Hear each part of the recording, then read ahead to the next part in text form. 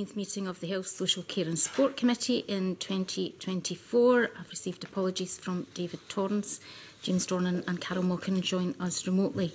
The first item on our agenda is to decide whether to take items 4, 5 and 6 in private. Are members agreed? Thank you. The second item on our agenda is an evidence session on NHS waiting times and a welcome to the committee Katie Cuthbertson, National Director for the Centre for Sustainable Delivery. Oh. Professor Farha Din, a Council Member for the Royal College of Surgeons of Edinburgh, Peter Hasty, Policy and Public Affairs Manager Scotland from Macmillan Cancer Support, and Max Warner, who's joining us remotely, a research economist at the Institute for Fiscal Studies. And we'll move straight to questions and Gillian Mackay good morning to the panel. Audit Scotland highlights that waiting time standards don't provide a comprehensive picture of post-pandemic service performance. In your opinions, what type of additional measures or indicators could offer a more comprehensive assessment of healthcare performance and recovery post-pandemic? And I might come to I might come to Katie first, if that's okay. Thank you. Um, I think the, the work that CFSD are doing is, is very much about redesigning services. Um, and as we um, look to implement those redesigned ways of working across a number of different areas, um, it can't really hear very well. If you tilt it down towards you,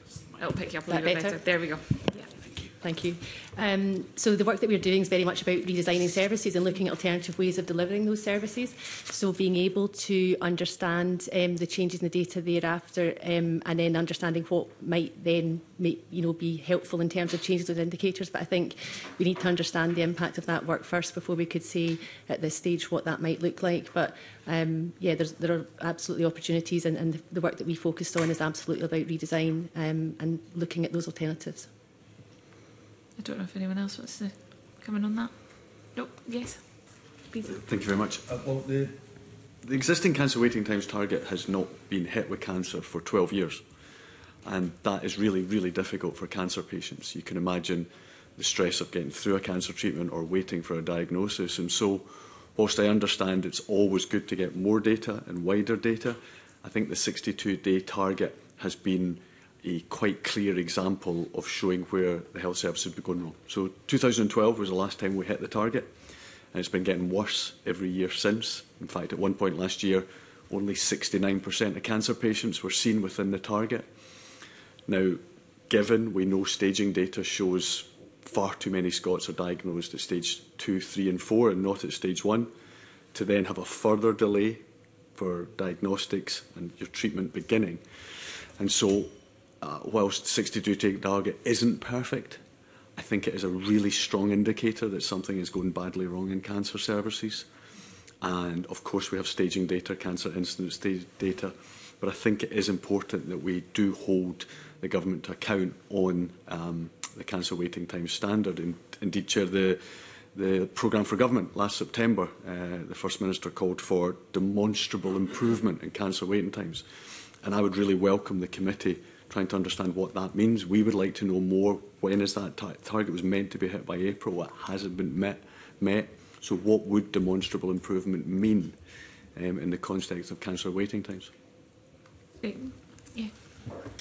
Um, thanks. And, uh, you know, just to follow up with what Peter said, I think what's really critical is as a as a cancer surgeon when I'm seeing patients in clinic and they're asking me when is my operation going to be or when am I going to have my staging scan for uh, judging whether they have secondaries or not. It, that's a very difficult conversation to say, well, in fact, what we know is that the diagnostics waiting times have just increased by 20% for CT scans from the data from last week, um, and 7% for MRI scans. And actually, uh, each of those people is a family, there's anxiety, and for us, there's anxiety as the clinicians trying to deliver care that in fact we can't deliver the high standard of care that we've been trained to do.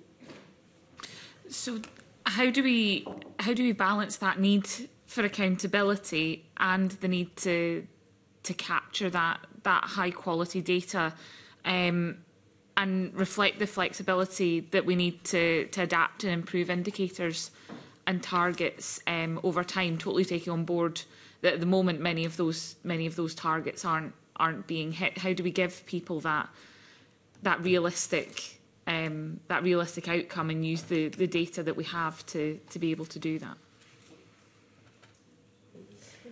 I don't think they so I think the issue with targets and indicators is that you know the, the key is about having the right target and trying to understand what exactly it's measuring. And the concern, and as, as Peter said, um, you can get an indication of direction of travel. None of these targets are perfect, but they do tell us when a system is failing and we need to look closer at that system to try and determine along the entire patient journey where those failures are. So, whilst imperfect, they do tell us to look closer. And, and I think the, the issue again with some targets or that it will then detract from, from other patients, from non-cancer patients, from patients that are wait, on waiting lists for um, operations that se seriously affect their quality of life, whether it's knee replacements, pelvic floor surgery, for incontinence. So it's about being able to look at that entire picture and, and getting an indication from a target, but not making the target front and centre of everything that's peripheral to it. Is there any data at the moment that that we should be capturing to inform these these targets and indicators that that we're not? Um, and if there is, what do you what do you believe government should be should be capturing in terms of in terms of that data?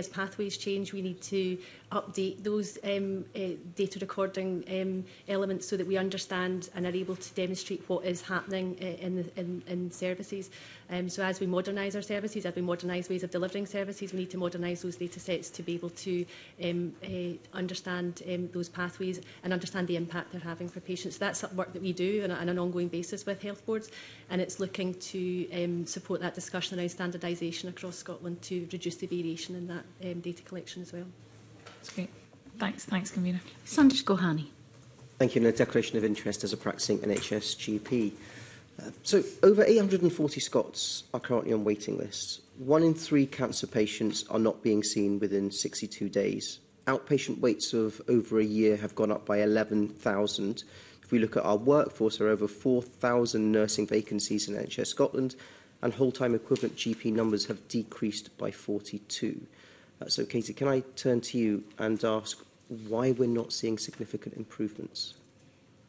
the work that CFSD is focused on is very much that improvement opportunity, working with health boards to understand those particular challenges across the pathway. The work that CFSD is commissioned to do is around the earlier cancer diagnosis element of the cancer work. Um, and, uh, you know, we as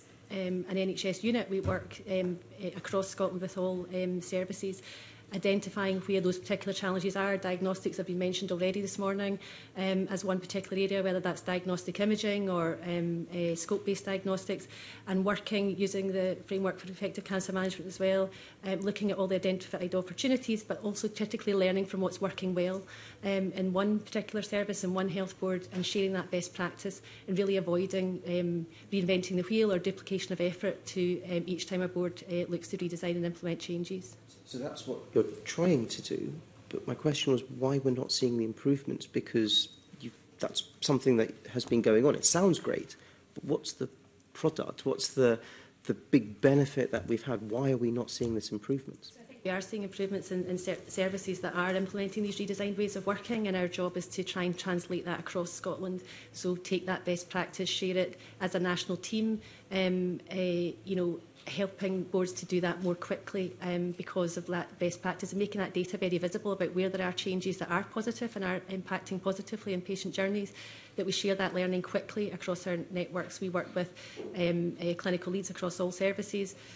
uh, on a weekly, monthly basis, um, uh, looking to, to transfer that. So ab absolutely, it's around uh, transferring the opportunities into benefit for patients um, and that is work that we will continue to focus on um, across all the different portfolios within CFSD. Thank you. Alex Warner wants to come in on this question. I think there's also just a broader context here, which is that the NHS in Scotland as a whole is struggling to recover treatment volumes. This is not just a cancer thing, but pointing to quite a large productivity challenge where there's additional funding, additional staffing relative to pre pandemic but we're not seeing those kind of corresponding increases in output. Indeed, most treatment volumes for other parts of the NHS in Scotland are actually below pre-pandemic. So there's this kind of broader productivity challenge that I think is playing a role in the challenges with cancer and these other elective waiting times. Ruth McGuire. Uh, eh, good morning, panel. Thanks for being with us. Um, I'd like to ask about unmet need um, post COVID 19. Um, can you share um, your reflections on to what extent there is unmet need and there are hidden patients in Scotland at the moment? So, Um, I, you know, I, and, and I think you know nobody nobody was prepared for the pandemic, and what we've really been left with, and in particular when we think about cancer services, what we've been left with is um, where some cancers uh, and patients did, uh, the, the, the bulk of cancer surgery did in fact take place. And I think that's something which we should be proud of. And that was successfully carried out, in fact, despite, you know, fairly adverse conditions to um, the health of patients and indeed the health of staff. What we know is that patients didn't come forward. We know that patients did not present to their GPs. I've seen several patients who would sort of phone up, get the COVID message, and actually sort of not wait to make an appointment, who presented six to eight months later. So I think we're probably only starting to see the tip of the iceberg in terms of patients that have not come forward. You couple with that a pause in screening, a pause in pretty much all diagnostics, there's a huge backlog, and we won't really know what the magnitude of the unmet need is. Thank you for that answer, Professor. Do you have any um, notion of which groups of people were more likely to not come forward? I think we probably intuitively guess, but I wonder if you had any any notion. Are we talking about older people? Are, is there a greater impact on folk from areas of greater deprivation in terms of accessing that kind of first line of Yeah. Of care. And, and in fact, both of those, both of those groups specifically, um, you have specifically the, the older population who, for instance, didn't want, don't want to make a fuss about um, troubling anybody or troubling the doctors, troubling the primary, uh, troubling primary care. And then equally, you have in areas of lower socioeconomic um, uh, wealth, the, the, the magnitude of impact there – is much greater. So, in fact, what we will see is a worse divide in health inequalities as we are seeing um, secondary, secondary to COVID. The reality is that patients, and, and this is work carried out by Cancer Research UK, you know, patients do know what red flag symptoms are. They can recognize 12 out of those 15 red flag symptoms. But it's interesting, they do not seek advice for those red flag symptoms. So there's in fact a lot of work to be done on public awareness and allowing patients to access services. And, and I'm afraid it comes down to investment. We need more investment in services across the piece. In okay, my thank you. I'm sure we'll dig into that in a, in a little while. And Peter, do you have any reflections on those questions? Can I add to the point that you made and, um, Professor uh, made was about the, the, the point of need. So cancer patients vary in their needs as they came through. Obviously, we think of a group of cancer patients, but as you suggest, there is a group of cancer patients with far greater needs. And one of the things Macmillan has been working in partnership with the Scottish Government is to transform care after treatment um, across um, across Scotland. And by the end of this year, the Scottish Government and Macmillan's partnership should reach every cancer patient in Scotland for their wider holistic needs. And one thing we want to add to uh, that sense of that there are some patients have far greater needs when they're diagnosed. Of course, all cancer patients need to be treated as quickly as possible, but some patients uh, we would like to see much earlier person-centred care intervention to try to stop repeat journeys back to the hospital, to A&E. If we can put in place much more social care support for people with comorbidities, that can stop difficult episodes happening. So not all cancer patients need that same level of support. And if we can bring that early intervention around person-centred care in partnership with the Scottish Government, we think that could save the NHS a huge amount of repeat visits and return journeys. Um, but that's hard work and it's shifting the nature of the workforce. It's not additional work, but it is shifting existing ways of working and we appreciate that's hard.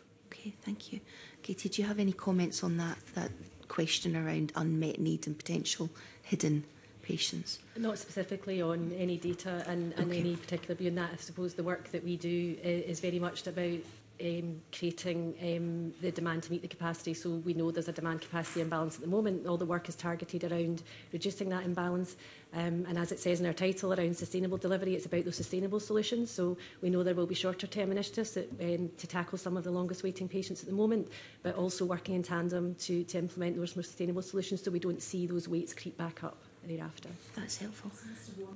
I was just going to ask if Mr. Warner wanted to come in on this. Yeah.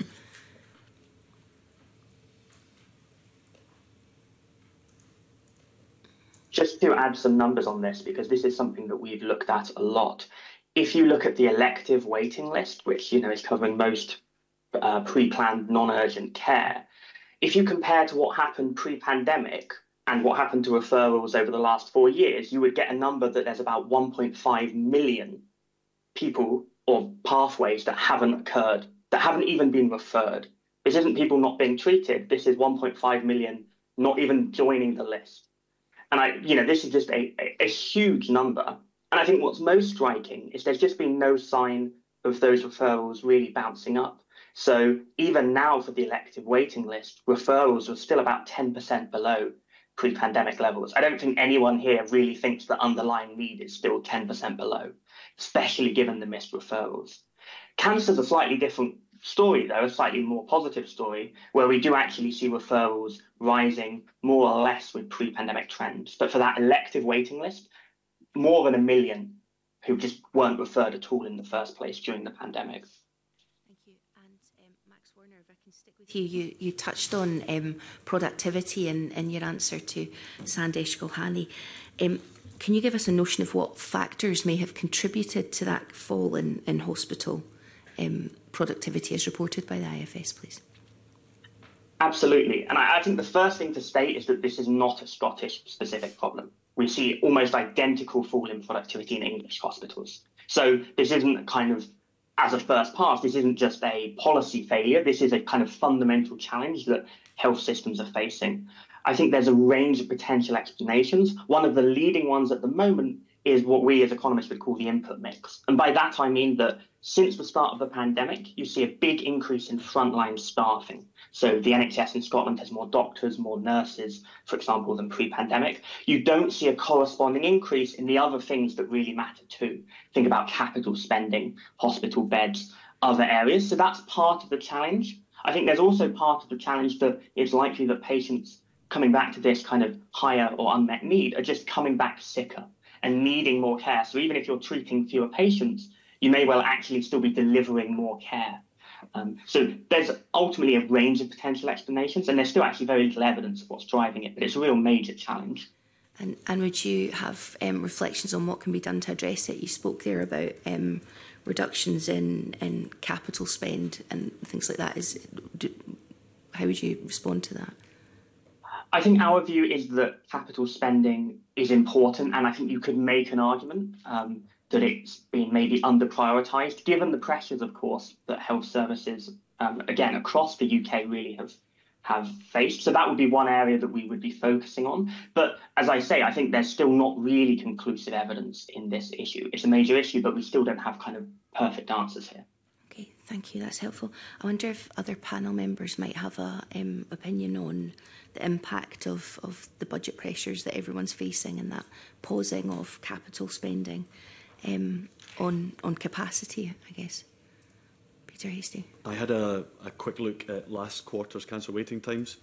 Uh, one of the things that Macmillan successfully campaigned on previously, I think when Shona Robeson was Health Secretary, was to get each of the health boards to state why they missed the cancer waiting times target which has been really, really helpful.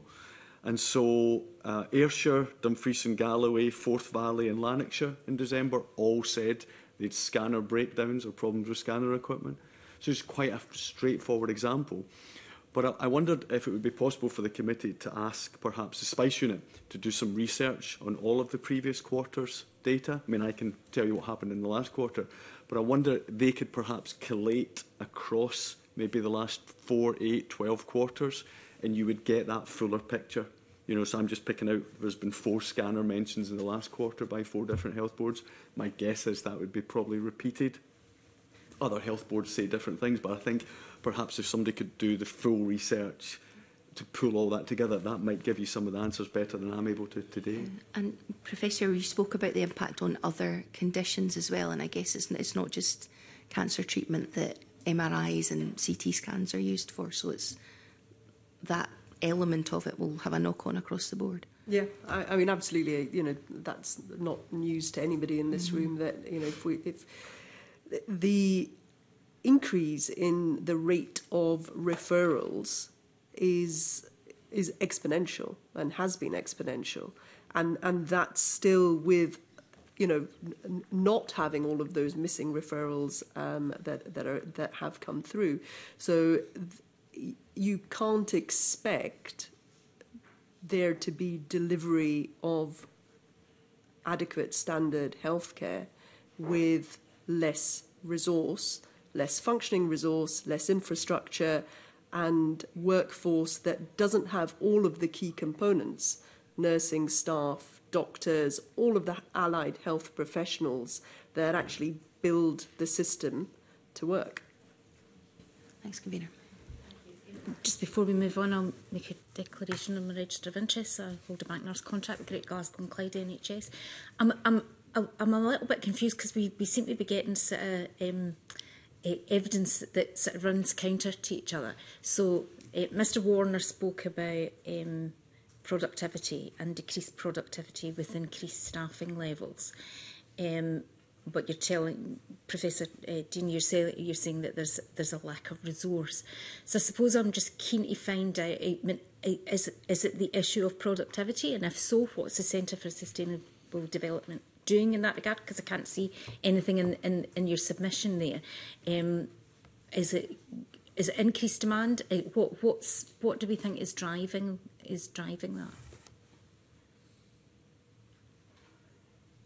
so I mean I'm sort of simply coming at this from an, an end user in terms of a surgeon working on um, uh, patients with cancer, patients without cancer, and what we can see is that you know we don't have we don't have enough staff to see patients in secondary care um, in terms of the demand from referrals from primary care. So that, that's a kind of a, a very straightforward fact. Um, and we know that patients are waiting longer for their investigations and indeed longer for access to surgery and, and importantly, not just cancer surgery, but, can, but surgery that affects a lot of angles of quality of quality of life. Um, so, you know, that, that's my kind of view as an, an end user um, of our system. So is, is it about productivity? Is it about efficiency of how services are, are being run? What, do you know, I, I'm, I'm opening that up wider than, just yourself. Yeah, so I, I suppose the work, um,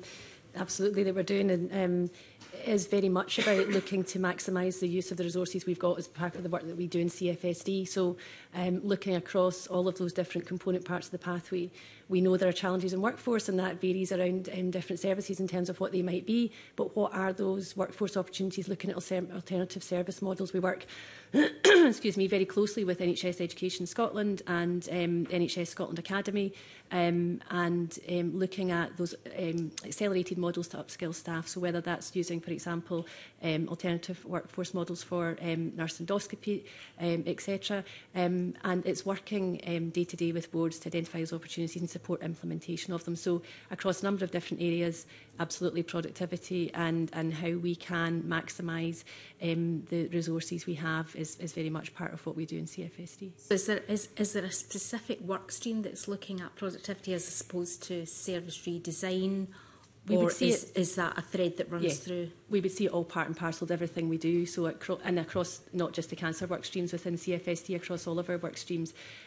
um, about yeah what more we can do. Absolutely, is a is a thread that runs through every bit of the, the work streams.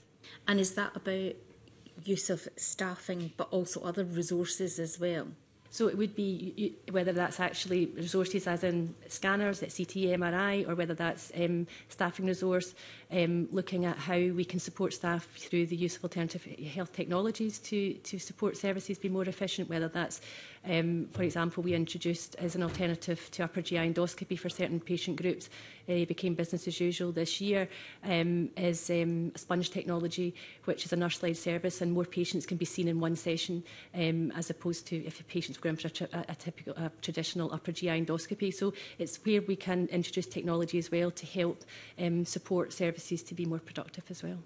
And when would you anticipate that you would start to see some of that coming through in terms of waiting times for for patients for either diagnostics or, or to be seen, waiting lists coming down.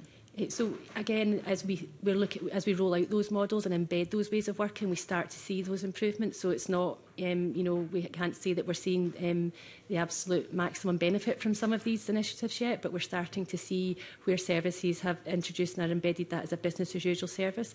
We are we are seeing those changes in terms of um, improvements and, and shortening those patient pathways. But it's not just about one component part, as you'll know. It's about bringing together a lot of component parts to give us the overall gains. This week. Um, thank you, Convener. If I can just come back on something you said, Peter.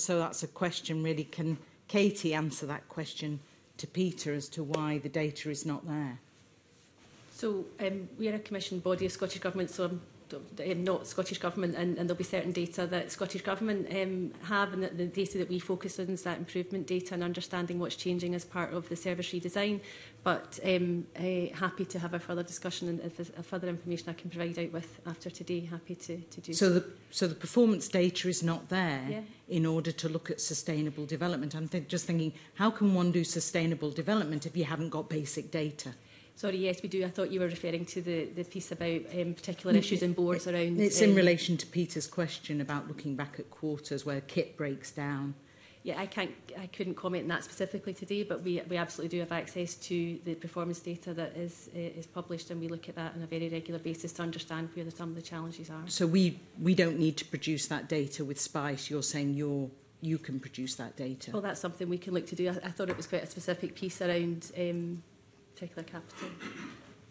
Thank you. Thank you. Emma Harper. Thank you, convener. Good morning to you all. Eh, I'm interested in some of the work that's been done in establishing the rapid cancer diagnostic services. That's something that I think uh, has been uh, good.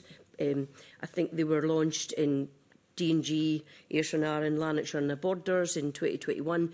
So, so the cancer diagnosis or the screening and uptake Um, it seems to be um, the highest ever for bowel screening in Scotland. In, I think in 30th of April 2022, there was a 67% uptake of bowel screening by people returning their kits, and that's the highest in the programme's history. So I wonder if you, do we have e, enough data about breast screening, bowel screening, um, other screening uh, uptake and how that then leads to then the requirement for intervention.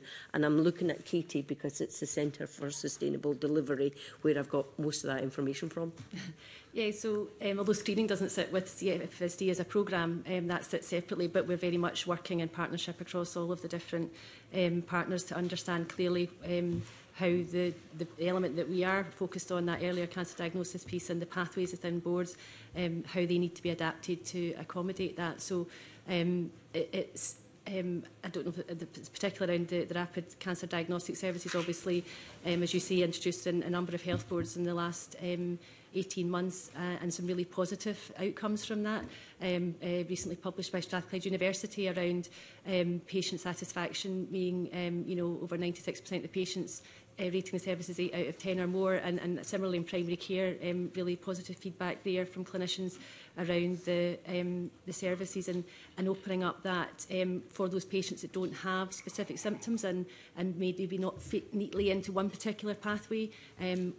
you know, opening up that opportunity to refer them into that one-stop rapid service to make sure that patients um, during a very anxious time are not waiting longer than absolutely necessary for that diagnosis or not. Okay, and, and I have to remind everybody that I am a registered nurse still. I worked in the operating theatre and recovery room um, in NHS Dumfries and Galway.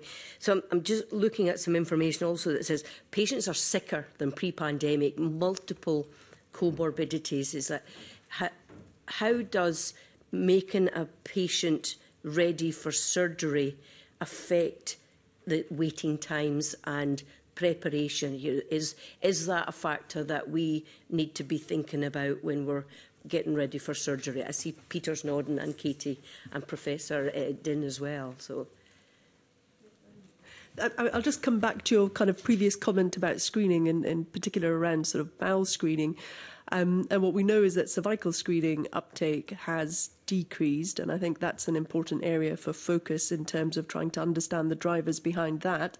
Um, bowel screening, thanks to the fecal immunochemical test, which is an easier test to do than its predecessor, has certainly improved, but a comment on bowel screening and on the threshold set for bowel screening. So, for bowel screening, we screen patients at 80 micrograms um, of blood, uh, of hemoglobin per gram of feces.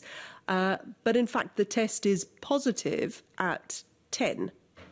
So, uh, and we know that screening um, capacity, or rather the threshold, is titrated against the endoscopy capacity to test positive results.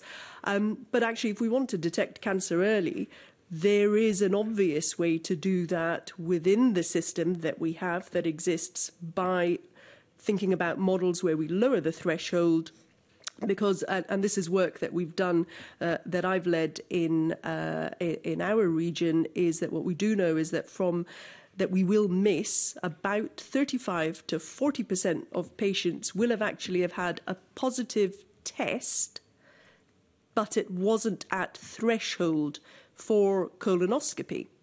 And actually, the knock on effect of that is that patients are falsely reassured.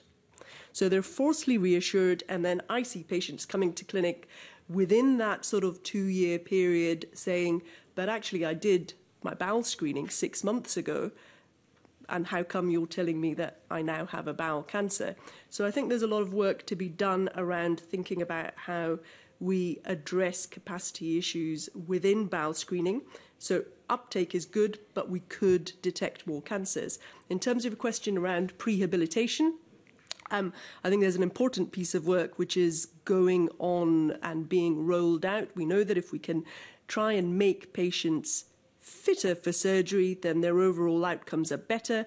When we have a cancer timeline with a patient that's potentially symptomatic from the cancer itself, then it's a balance about what the gain is versus further symptoms due to the cancer. But, but it's certainly an important area in terms of optimizing patients for surgery um, and improving their fitness. And I think resource into that area is certainly welcomed and just on, you said that cervical cancer screening uptake has reduced, but I'm aware that there's a self-sampling research going on right now, but there's also um, research about urine testing for the human papilloma virus as well. So would that help? Um, uh, it's less invasive than traditional um, screening. So is that something that hopefully we can you know, chivvy along that research so that we can make sure that either self-sampling or urine testing is something that we can uh, use as an, a way to help screen people as well. Yep, and and you know, there's a few folk in the room that will have uh, that will have had a smear and will know that nobody, you know, and nobody looks forward to that. So any research that can lead to a different uh, test to do this, I think is important. And I think that does bring us on to how do we drive innovation. And certainly, in my view, it is through increased investment in research endeavours in partnership with research organisations and universities to try and really think about innovative solutions within that constrained model of finance. Okay, thanks. Thank you. go Gohan. Thank you. Um, Just, I just quickly turn to something that Professor Din um, talks about there. You were talking about the QFIT, um, and one of the issues that I have in primary care is I don't have access in all different health boards to actually request tumour markers. Um, and whilst not a tumour marker, one directly that probably has a worse outcome uh, than cancer is, is heart failure. And I can't request a pro BNP everywhere. So surely this would be a good first step of trying to detect people earlier by GPs being able to request these tests? I, yeah, I, sorry, am I on? Yeah. Um, so I, I, think absolutely that's a, that's a good, uh, you know, and it's a good, it's a good, um, it, it, it's a good point. Uh, I think the issue is when it comes down to what the sensitivity of tests are. And certainly some of the discussions that we've had in secondary care with some of the tests that are available um, as to if they have a low sensitivity, then in fact a positive test has the danger of in, in itself generating a lot of referrals. I, I can't particularly comment on pro on pro BNP and what the sensitivity is uh, within that, but you know I, I, I think the key thing that comes across is that everything needs to be done in partnership and not in silos. So primary care and secondary care, and in fact, how we rolled out our QFIT within um, secondary care for triage, which in fact resulted in a decrease by around 60% in new colonoscopy requests, was in conjunction with our primary care colleagues, gastroenterology, radiology, and management. And it actually shows you that if you align everybody's priorities and what they want to achieve, then you can get a new model of activity. So, with respect to, for instance, pro BNP, then I would say there's a conversation for you to be having with secondary heart care specialists and determining the best model that will help you with your patients in primary care? It's the standardisation that's the problem, because yep. I can in some places, I can't in other places. Yep. Um, can I ask you, um, personally as a surgeon, how many sessions are you operating on average? I think as a surgeon, probably most surgeons will say not enough. Mm -hmm. Yep. And uh, and you know, and I think there's, there's potentially some work that's ongoing to try and think about other um, administrative roles that clinicians have, not just surgeons, um, as to whether some of those administrative tasks can be removed so that they can undertake more uh, clinical duties, whether that's surgery or seeing new patients and outpatients, or indeed, in my line of work, endoscopy. So it, it's about utilizing the skill set to its best ability you're right. So friend, lots of friends of mine are orthopedic surgeons, uh, and they said that they are over the moon if they have an all-day operating list. They don't get to operate. You know, orthopedic surgeon, general surgeon. The, the, these guys, I used to be an orthopedic uh, trainee, and you, you train so that you can operate. You know, that's, that's what you're trying to do. But if you're getting a day a week, so of operating time, that's simply not good enough. And it's not the fault of the surgeon because they're desperate to operate, but lots of people are not getting to actually do it. So if you're not actually getting into the theatre to operate on patients, how on earth can we clear the backlog? I, I mean, you've posed the question I would pose to yourselves. Absolutely.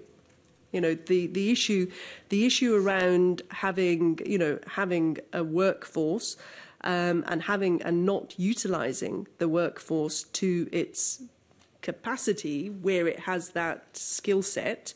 Um, you're, abs- you're absolutely right. You know, access to uh, access to theatres, Uh, it, it's not necessarily an issue of there's not enough surgeons, but it's about the entire infrastructure and the entire team um, to be able to deliver safe surgery. Uh, and you know it's it'll be across all different strata of types of surgeons. Uh, you know we're in our happy place when we're operating, um, and there will be very few. And if you look at the model in this country versus the model in other countries where surgeons operate three times a week, then it's, it's very, very different models. Thank you. Emma Harper.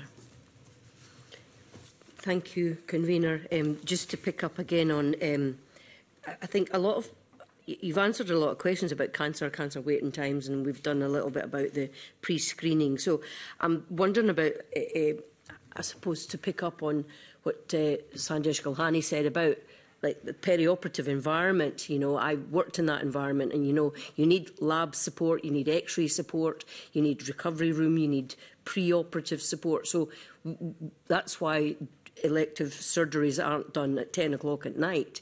So the capacity of uh, uh, the perioperative environment does require the wider team.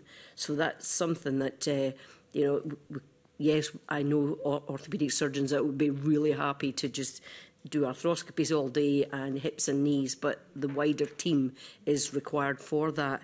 Um, I'm also just wondering about like where do you think there should be uh, improvements? I mean, what can be done to improve um, cancer? We've got the diagnostic part. It's then there's the intervention. We might need more CT scanners. Um, but then there's the people that need to then read them and diagnose based on the CT. So it is very complex, but is there anything you would suggest that could be done different? Happy to come to Katie and Dr. Din, sure.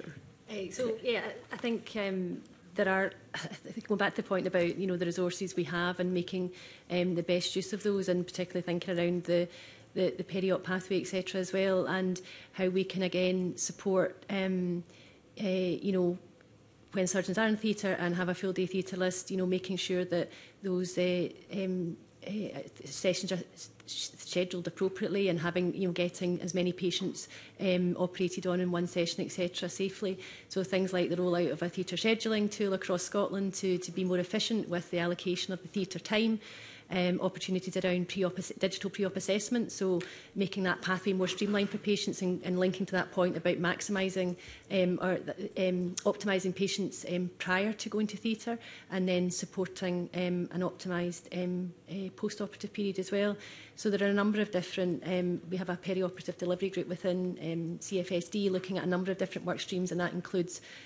um, workforce opportunities as well um, when there are challenges in theatre staffing and, um, and obviously there are a number of staff that need to be present in the theatre at any one time, as you know, and um, what those opportunities are to upskill certain staff groups to support that theatre team to make sure that we can um, be as productive as possible in those theatre slots.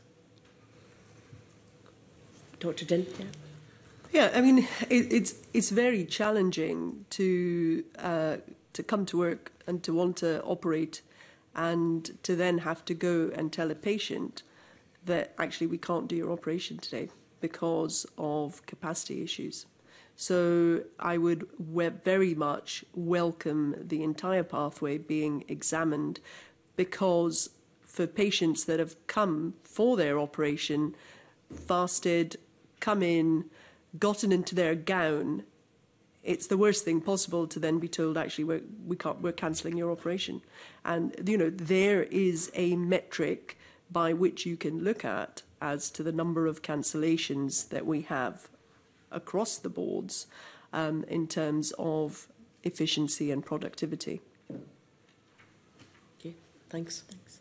Thank you. Uh, Thank you, convener. I uh, must say, as a, I just declare I'm a fellow of the Chartered Institute of Personnel and Development, and actually hearing this, I'm gobsmacked because it's crying out for a work study you'd, you'd, you'd wonder why we're not all over this to look at efficiency. So a work study should have been done, needs to be done with urgency, and looking at, to quote Professor Farhat Din's, entire pathway needs to be examined. So I'm delighted that as a committee, we're actually addressing this and see this, seeing it as, an import, as important.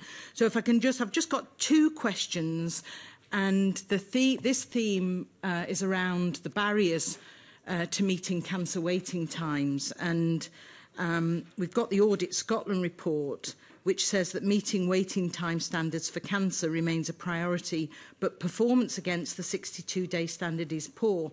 And Peter, to quote you again, uh, you said something is going badly wrong. So in order to put the wheels back on the bus, um, or to put the wheels on the bus, because um, this has been an, an issue for a while, is, is what, what would you see as the main barriers? We've talked about uh, the surgeons just want to get in there and do their surgery, um, but, but what are the other main barriers to meeting the waiting time standards? Uh, as I suggested earlier, the, the statistics are there, the stats are there every single quarter. They are very varied, but I think you could split them quite clearly into two. That's you know, equipment Um, uh, obviously, there's technological advances all the time, but you need the basic equipment there and you need funding into the equipment.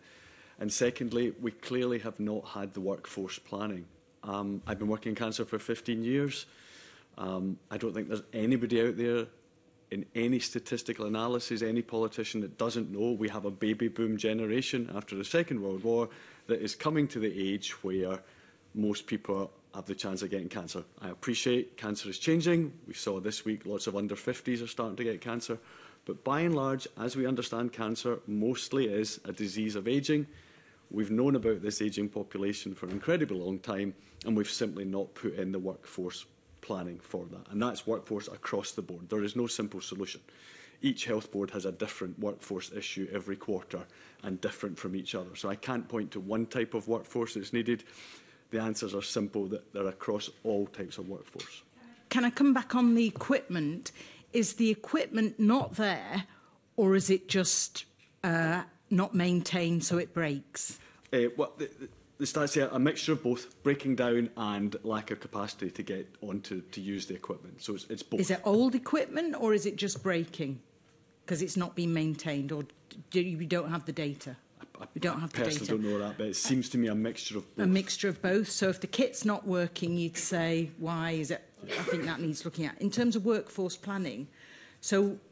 um, each individual health board seems to do their own workforce planning, but there's not an holistic Scotland-wide workforce plan because the danger is you rob Peter to pay Paul, and so those who are uh, specialists in, let's say, cancer treatment people might flock there and then that makes an issue. So having a, a, a holistic workforce plan is, is, you would say, a massive priority.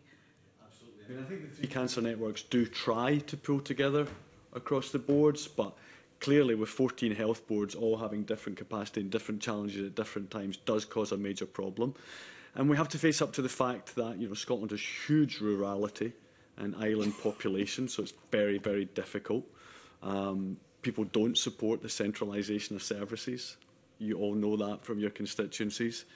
Um, but can I actually go to Professor Farhat? Because I see you nodding there in terms of, of the barriers. We talked about the surgeon there, just surgeons are happy in the happy place when they're doing surgery. But what other barriers do you see? It, I, you know, um, uh, you know, and without wanting to sort of say the same things again. It really is about having the allied health professionals and the infrastructure and having kit that is fit for purpose. And so when you're thinking about kind of the capital um, investment that's required to keep hospitals running, we know that they have maintenance bills that are off the scale. And if you think about all of the time consumed, and whether it's IT and getting an old computer to actually start up, you think about all of those little segments of time adding up and increasing the lag within the system.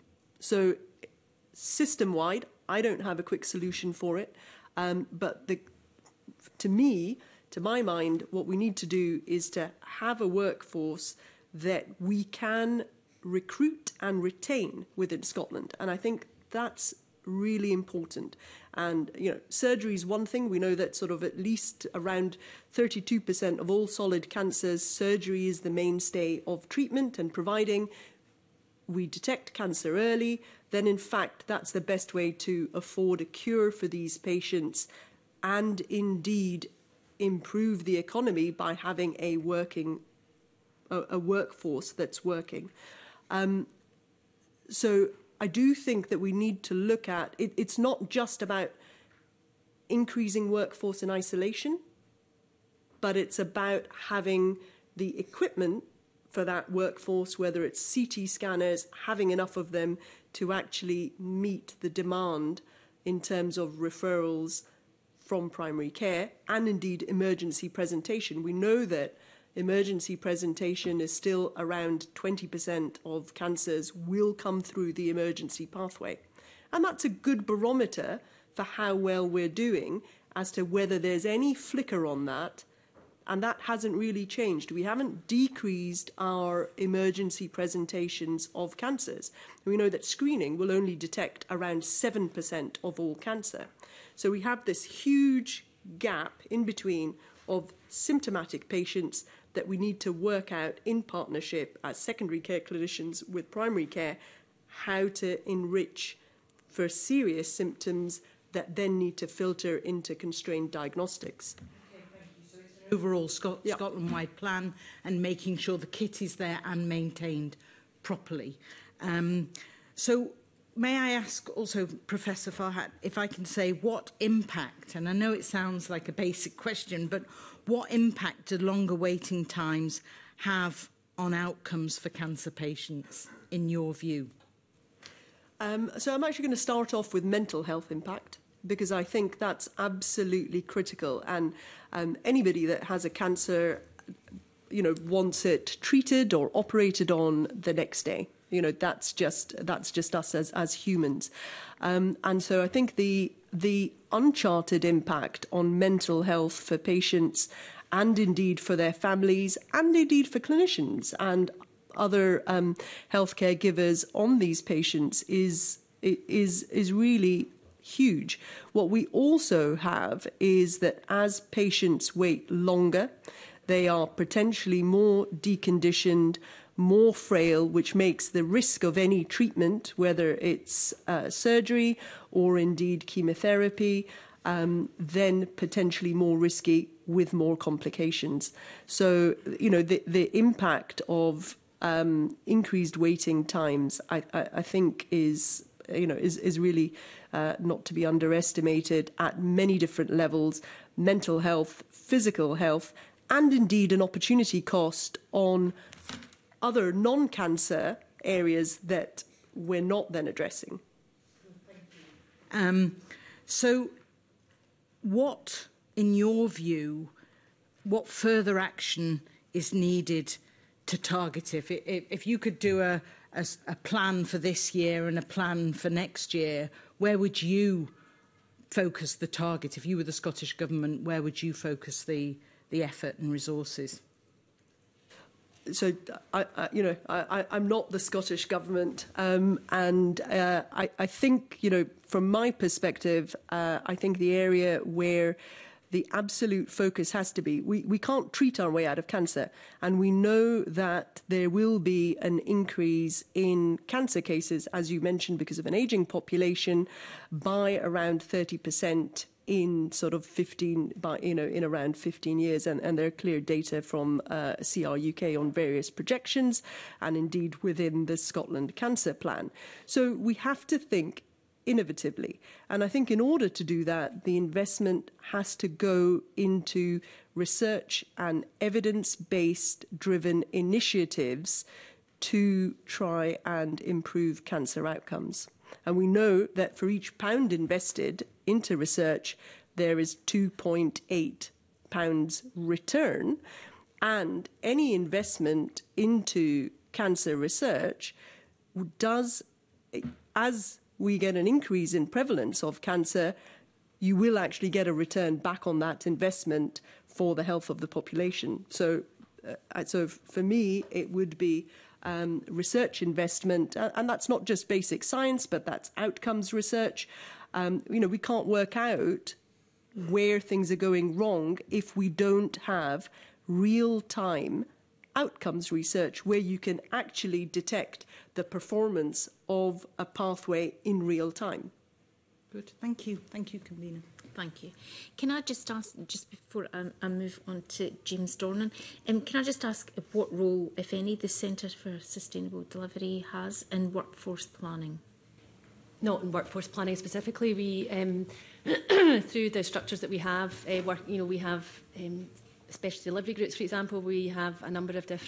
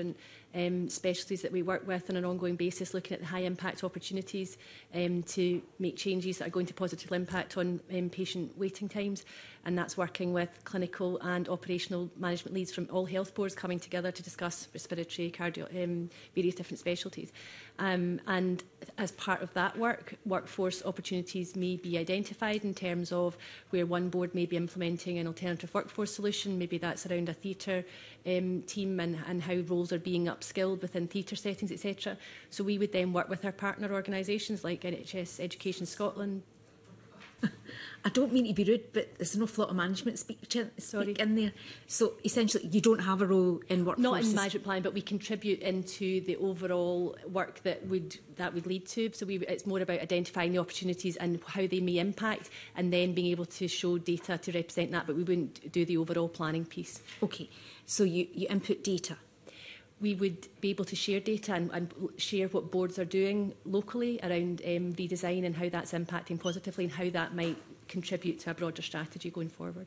Okay, thank you. Uh, I'm going to go to James Dornan now. Uh, thank you, Convener. Uh, I'm going to ask some questions around early cancer detection. And before I start, just uh, I had to take a call. Coincidentally, I had to take a call from a consultant there just now. So I'm, some of these might have been covered earlier on. Um, but the just to ask the panel, what factors contribute to longer wait, waits for diagnostic tests, and can you outline how these factors can be overcome?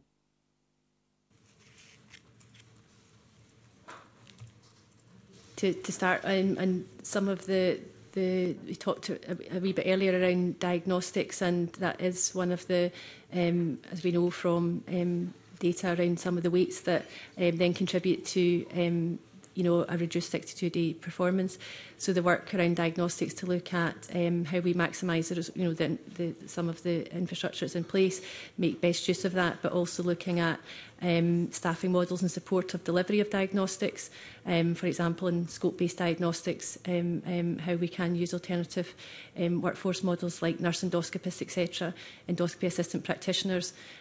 um, and offering alternatives, um, more outpatient-based diagnostics as alternative to scopes as well for certain patient cohorts um, will all help um, um, free up capacity, obviously for patients that do need to undergo particular tests, um, but offer alternatives for those other patient cohorts and speed up that um, journey.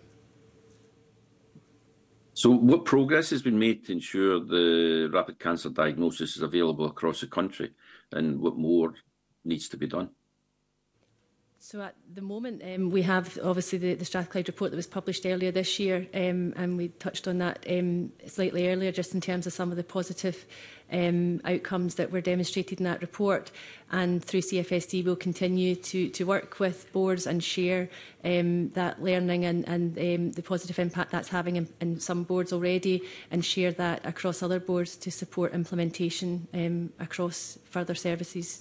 to, to open that up to more patients across Scotland the impact on COVID, and I know you've discussed this earlier on as well, but how what impact has that had on the stage of cancer presentations? I did, I did sorry, I, I did hear a wee bit of, of a response earlier on in that, but my mind was elsewhere. So, you know, I, I think we're still waiting to find out, uh, Mr. Dornan, because you know. Um, I think perhaps this year's cancer staging data might help give us a better picture because obviously there was this six months delay in the screening programmes. Um, unfortunately, Public Health Scotland unusually have not set out when the cancer staging data is coming this year. Um, we're still waiting for cancer mortality stats from last year, and there's no indicator of cancer incidence or mortality or staging data for this year. We really need Public Health Scotland to publish those figures, and I think that would give a, a, a better indicator. But I think your question no doubt alludes to the fact that people will have been getting diagnosed later. And then that then adds onto the huge pressure on um, the cancer workforce. And so the later somebody is diagnosed, you know, the more strenuous efforts, you know, the more intensive surgery, the longer chemotherapy and radiotherapy sessions, which all adds up to cancer waiting times. And so, really the first you know, thing your, you would want. So, sorry, I was just going to say, in your own Glasgow is... Health Board last month, they said, you know, significant pressure on diagnostic procedures. There is just this backlog that is building up, and I, my fear is that will push people into later stage diagnosis and all the subsequent um, effects that then has. But before we can move forward, we need to find out what's been happening in the past. So we need to get those stats from Public Health Scotland. Right? Absolutely. Thank yeah. you. Yes. Okay. Right. Thanks very much for that. Okay. Thank you, Convener. Thanks. Uh, Mr Dornan, Paul Sweeney. Thank you, Convener, and thanks to the panel so far for their contribution. Um, what role does, uh, sorry, apologies, um, we're looking at the factors contributing to longer waits for diagnostic tests, and certainly it chimes with what we've heard previously from oncologists saying that it's agonizing for them to watch patients going from diagnosis to a terminal situation. Um, what factors are contributing to that, and what progress has been made to ensure that rapid cancer diagnosis is available across Scotland, and what more needs to be done? start with the answer in, in the broader picture back to what Emma Harper said. We have seen really excellent bowel screening uptake, getting to 66, 67%, which is the best ever. But obviously that still means a third of people are not sending back their kit. And I do wonder if we need to have more innovative ideas, and I'll leave that up to you about how that more pressure could be put on, more understanding, more support for people. But at the same time, you know, take an area like Fife, Fife has got the exact same take-up as the rest of Scotland, but 50% of Fife men in the lowest 20% of incomes is only returning the kit. So there's also a massive socio-economic divide in screening as well.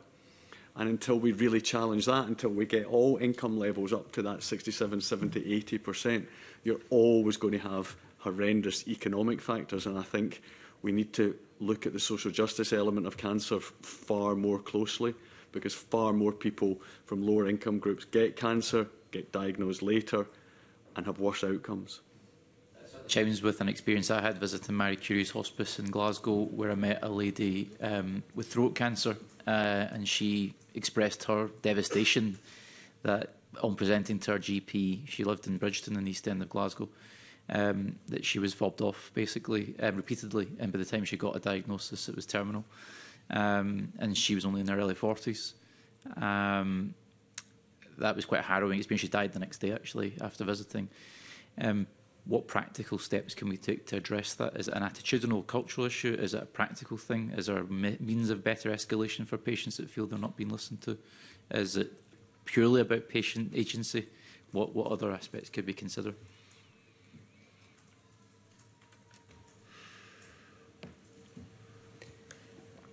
you know, I think I think it is it's challenging because of the pressures, and I'm a secondary care clinician, um, but the pressures on primary care are phenomenal uh, in terms of the number of patients that they see. And for, for each patient that they see that has a misdiagnosis, there's actually a huge number of patients that have been seen and have been effectively um, and have been treated effectively and efficiently.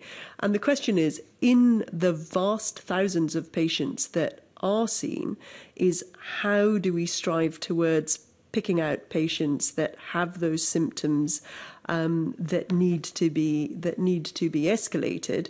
And again, I would come back to the idea of we need to have more research into primary care, into symptomology. You know, we have the whole natural experiment of the NHS and patients in multiple areas of the NHS that actually, if we had access to that data and had a research culture absolutely embedded into the NHS, we can ask those questions at scale. We can ask the questions of if somebody comes with X or Y symptom, what is the likelihood of them having a cancer? But you need access to all of that data. So, so I would very much push for, for something that we can do, which is to try and embed access to patient data access to surplus patient tissues, access to surplus uh, surplus blood with the appropriate data governance to reassure patients because actually what covid taught us is that patients want treatment. They want you to use the knowledge you have to develop better treatments for them. And, we, we have this whole area that, in fact, is very challenging as researchers, for us to be able to access to generate ideas and to generate answers that can then lead to better early detection strategies. Is there um, an issue not just about the structure of GPs as individual contractors, if you like, in their you know obligations to, to undertake um, data gathering, etc., but is it a case of is there currently work being done to understand where late stage referrals are happening and does that correlate to areas of high deprivation and then actually investigating what was the cause of that late presentation was it frustration with access or was it just simply that the person hadn't presented until late stages or any indications in that in that space at the moment is there any data that gives us an insight there Yeah, I mean, I think there is, and I could provide further information following today's session um, on that. And um, the work that we do within CFSD, as you'll see in our briefing, was around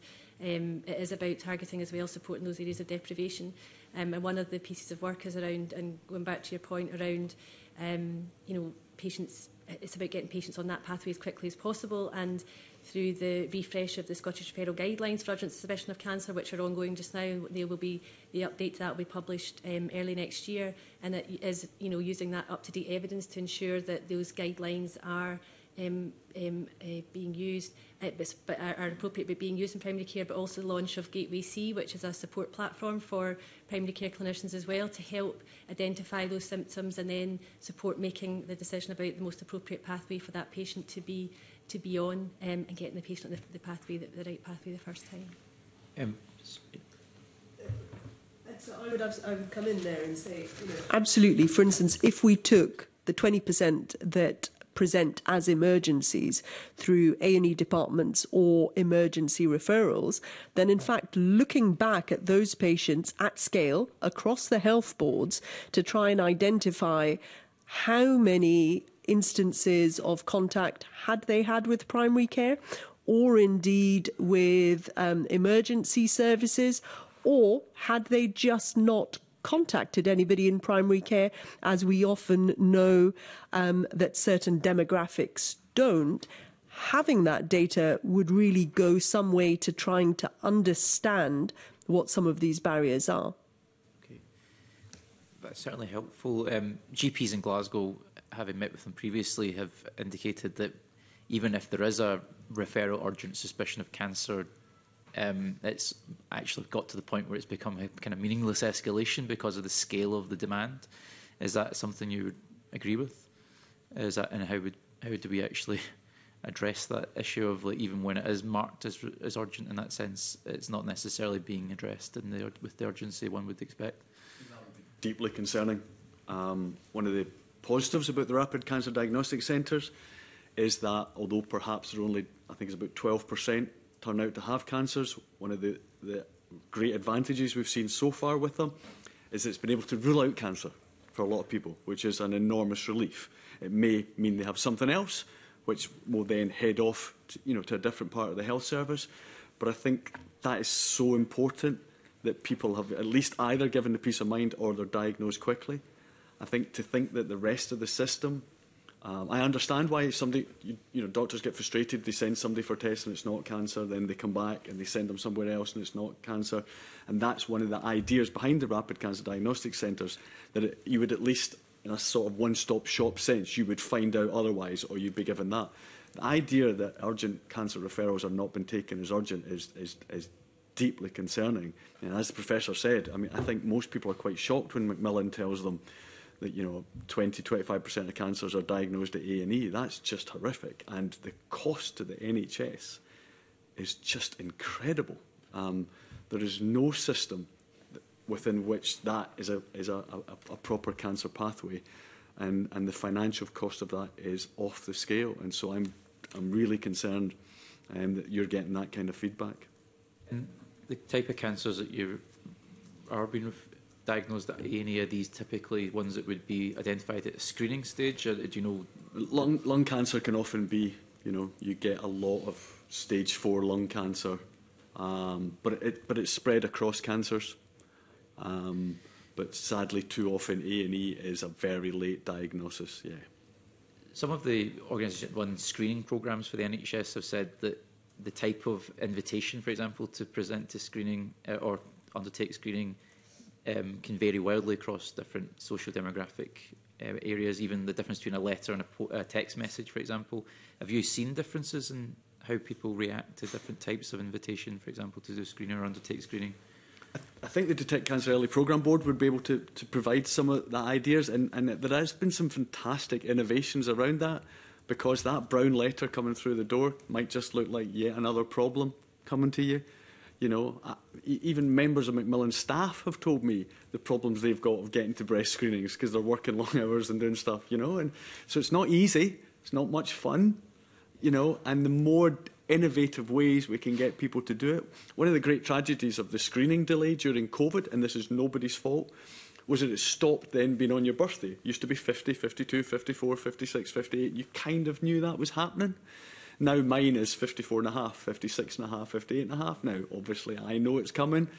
And, and it got away from that pattern. And, and the truth is, Mrs. Way, we need people talking about it. We need people encouraging their friends and family on their 50th birthday, you know, happy birthday and all that. But we, can you do your kit? And we need to make it a much more normal conversation because it's your loved ones at the end of the day. And it is a lot of hassle to go to screenings. You know, breast and cervical screening is, is, is no, nobody's idea of fun. Neither is doing the bell kit. But this, the more encouragement we can give to people, and I have no doubt new screening will come on board. You know, you hear about innovative ideas all the time. And there's a lot of campaigns for lung screening to take place. But I also think screening can perhaps be more targeted at people whose family members have had previous histories as well. And we can maybe work on on very more specific targeted ways of, of take up. Okay. Um, I was just going to ask a, a quick point about COVID and the impact it's had on late stage or severity of diagnosis or presentation. Um, have you noticed a definite effect? I've certainly heard plenty of I, had anecdotal evidence of that. Um, what impact has it had, and what can we do to really control and sort of countermeasure that? no doubt anecdotally that's coming through, but we're still really waiting for the stats to come through. Uh, the Scottish Government, in partnership with Macmillan Cancer Support, has just launched the third ever Scottish Cancer Patient Experience Survey. That's in the field now, and the results will be out in September. I think that will be a huge aid to this committee to understanding what happened to cancer patients during that period, because the cohort is from the COVID period.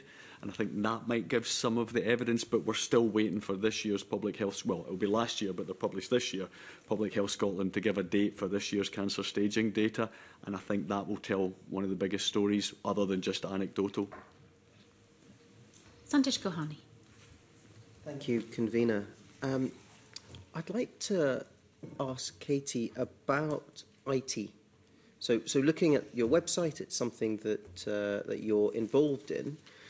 How long has it been now since we have tried to get IT systems that talk to each other? Um, so I couldn't, that's not the work necessarily we're leading on. It's around the, the opportunities to introduce alternative health technologies that may absolutely need to be talking to other um, systems within in health boards.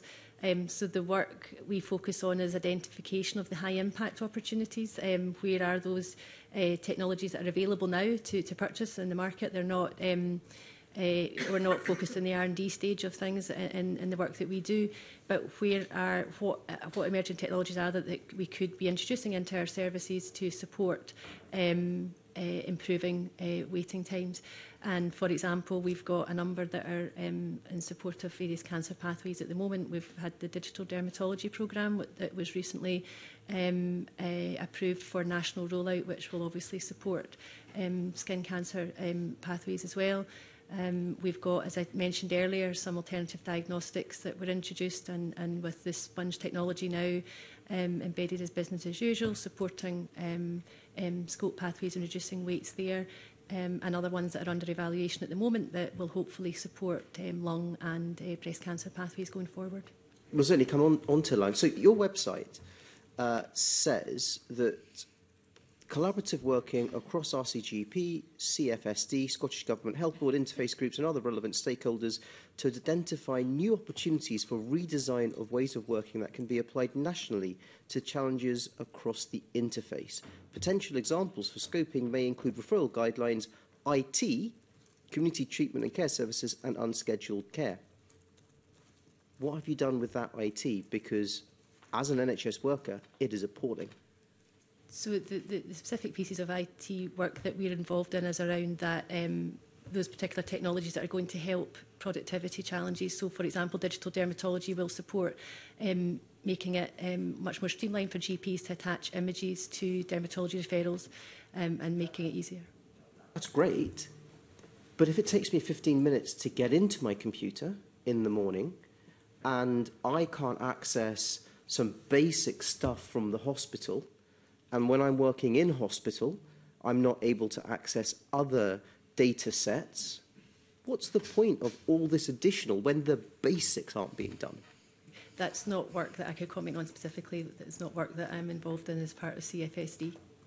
Okay. Seems rather disappointing when when the website talks about um, opportunities for redesign of ways of working, surely IT and basic IT is the most important way of redesigning for interface.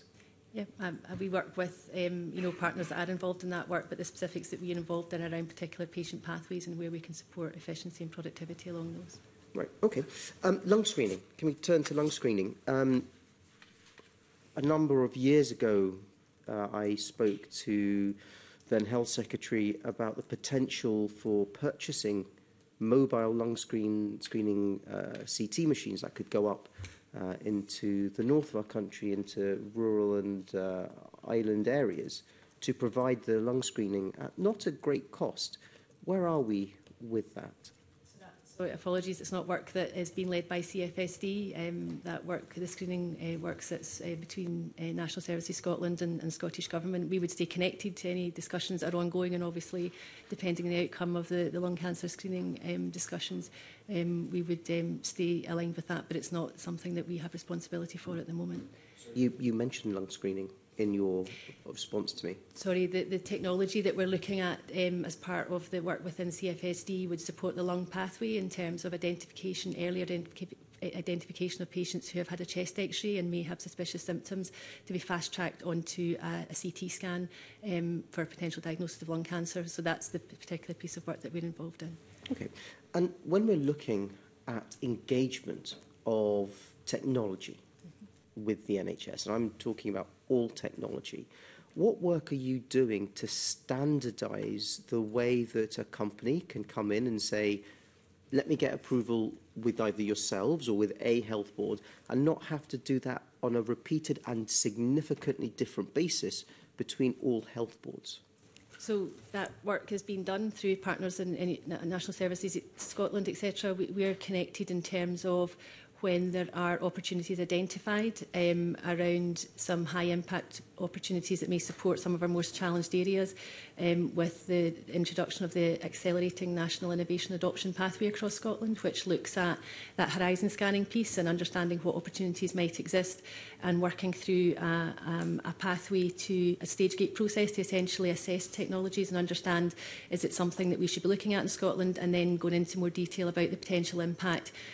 cost effectiveness, etc. Um, work and you found you, you found that um, it, there is a piece of work which is uh, a piece of technology that is cost effective, that is going to work, such as AI when it comes to reading uh, x-rays and CT. So let's just take that as an example. How can somebody then get that piece of technology across Scotland in an easy access way that doesn't involve going to every health board and convincing them individually? national team that work as part of CFSD, as part of that ANYA collaborative, um, are responsible for rolling out, if, for example, digital dermatology, that national team will work across all health boards, um, as, you know, depending on the procurement process to procure the particular um, software, etc. Will then work across all health boards, through that on a one Scotland basis. So it's not, um, you know, different pathways and different health boards. It's about doing that in a one Scotland way. So it's working across all health boards to um, to do that. And that's the nature of the, the annual work with that accelerated um, name and the title to, to get the te technologies into the hands of clinicians and benefiting patients much more quickly. Okay. And Professor Din, can I, can I turn to you? What do you feel would be the most helpful technological input uh, into, into helping you in your everyday work? Um, so two things, and one of them you've absolutely hit the nail on the head is it's not just about new technology, but it's actually about having fit for purpose technology in all of the basic things we try to do. So whether that's the IT system where we're trying to order, um, where we're trying to order uh, investigations, or indeed just trying to utilize the computer, I completely share your frustrations that primary care um, data cannot be accessed by secondary care clinicians and you know and vice versa to an extent. So we can't see the notes you know the helpful notes that you've written when somebody's come to see you two three times beforehand so i think there has to be integration of these systems for us to be able to access data. And, and, and, you know, Scotland has a rich history in innovation and indeed, in particular, in data driven innovation, which really over the last sort of five to ten years, uh, in particular, has come forward with Datalock, with other initiatives but we need to be able, you need to be able to access data. I need to be able to access data so that we can actually answer fairly straightforward questions at scale.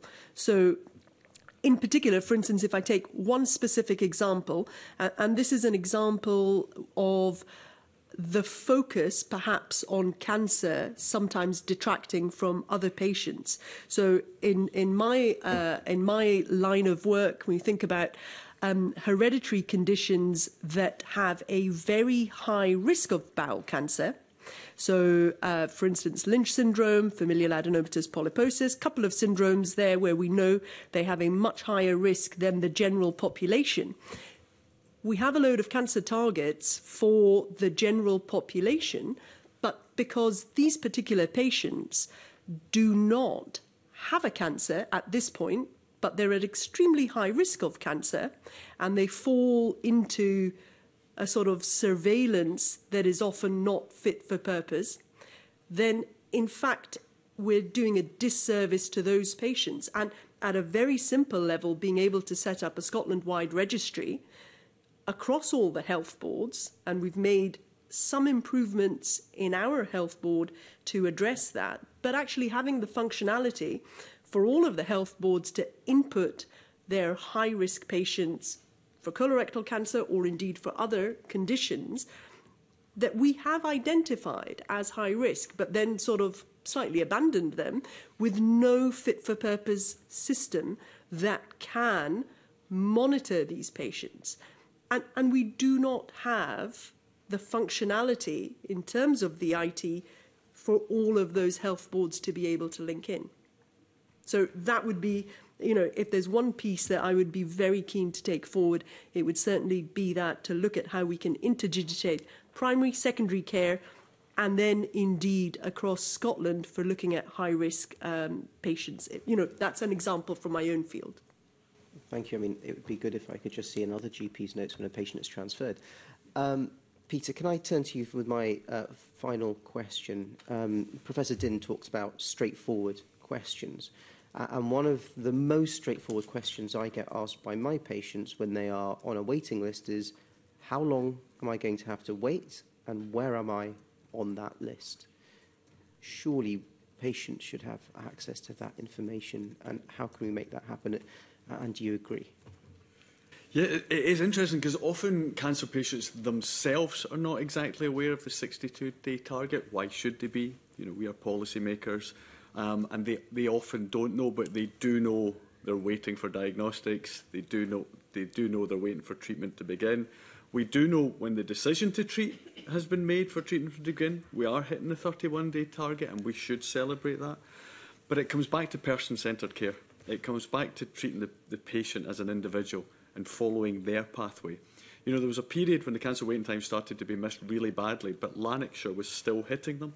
And that was because what Lanarkshire had focused on person-centred care and they'd focused on that individual and they had somebody tracking the individual, treating them as an individual and seeing that their waiting time was coming up and booking that space. And if we can try, I appreciate we're dealing with thousands of people and it is really hard, but if we can focus on person centred care around that cancer patient and the support they need, I think we would have far better outcomes. But you're absolutely right, the cancer patient deserves to be in charge of their journey and they're not. They're sitting waiting, and they're waiting for far too long.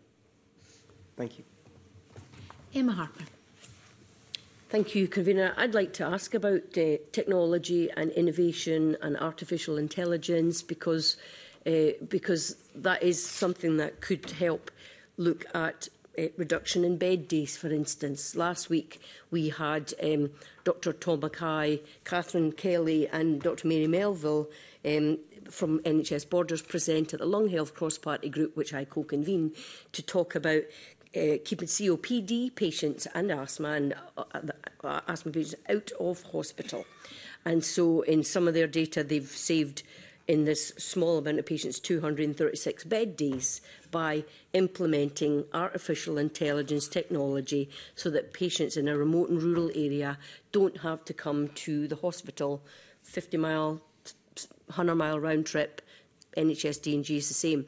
So I'm wondering what your thoughts are about the implementation of the technology like uh, eh, AI for out of hospital um, assessments and uh, what other exciting um, technology is out there. You know, we know that there are research studies about reading X-rays in order to help look at that for diagnostic um, for lung um, lung cancer, for instance, as well. So I'd be interested to hear about you know something that's actually positive as we um, move forward to look at helping our NHS and waiting times and everything. Can, I, um, there was mentioned earlier last week the Scottish Government announced the National Theatre Scheduling Tool. It might not sound like the greatest thing in the world, but there are constant innovations like that, and we need to constantly look at it. I think you're absolutely right. I, you know, I think that we're all used to using Zoom and Teams, but a lot of older people aren't. But I think there's a new generation of people coming through that wouldn't think twice about having their follow-up appointment on Zoom, and that saves your Dumfries and Galloway patient travelling to Edinburgh and Glasgow, patients from Orkney and Shetland travelling to Aberdeen, patients from the Western Isles travelling to Glasgow. There's so many innovation possibilities, but it's hard because we're not used to doing it like that, and we're not used to change and people feel like they may be missing out on something. And I do worry sometimes about a lack of face to face. I don't think, you know, Zoom and Teams is, is the perfect solution for everybody. But I, I don't think there's any one particular breakthrough that I can point to uh, on an immediate basis. But I honestly don't believe there's ever been a time of more exciting innovation, like you say about AI, uh, you know, scanning, spotting more cancers than the human eye would do. I think there's amazing possibilities. But behind it all, you need that workforce to be able to do the scanning, you know, to look at the results, you need that workforce planning behind it. So I think if you can marry the two of them, I think there is, you know, there is great outcomes possibilities. People are living with cancer longer than ever, but we're not detecting quickly enough. And until we get that right, all the other things um, have to wait. Can I ask Mark's a quick question as well before others come in? Um, because I'm conscious you you haven't said a lot at the moment. Um, Okay, right. So okay, right. So we're running out of time. So I'm interested in whether um, whether Max Warner, you've done modelling about um, investment in prevention to keep folk um, healthier. So what modelling has been done to show that if we invest here up front, we will prevent um, cancer, we'll prevent obesity, we'll prevent or reduce obesity, we'll look at diagnosing type 2 diabetes earlier. Is there, have you done modelling that it shows where if we prevent up here, we will save X when it comes to secondary care? So we haven't looked in particular ourselves, but there is a lot of modelling of that. That you know, prevention if you catch things earlier, and we were talking about this earlier with cancer, you know, you can save. I think there's always a caution though with prevention. I think we should motivate prevention as allowing people, if you catch things earlier or you avoid conditions, it allows people to live better lives. That I think should always be the motivation. I think the financial motivations of prevention are actually not always positive. We shouldn't be driven by that, but I think there's a risk of only motivating prevention via, you know, we'll save X amount of money because frankly, people living longer is expensive. It's desirable so we should be motivating it for those reasons, not always those kind of pure financial gains for the government, because those aren't always there. And that's okay. A lot of government spending is designed to improve quality of life rather than just save future government spendings. Thank you for that. I think uh, conveners given me the eye to maybe uh, make that my final question. thank you. Can I thank the panel for their attendance here today and online? Um, and we will suspend briefly to change witnesses.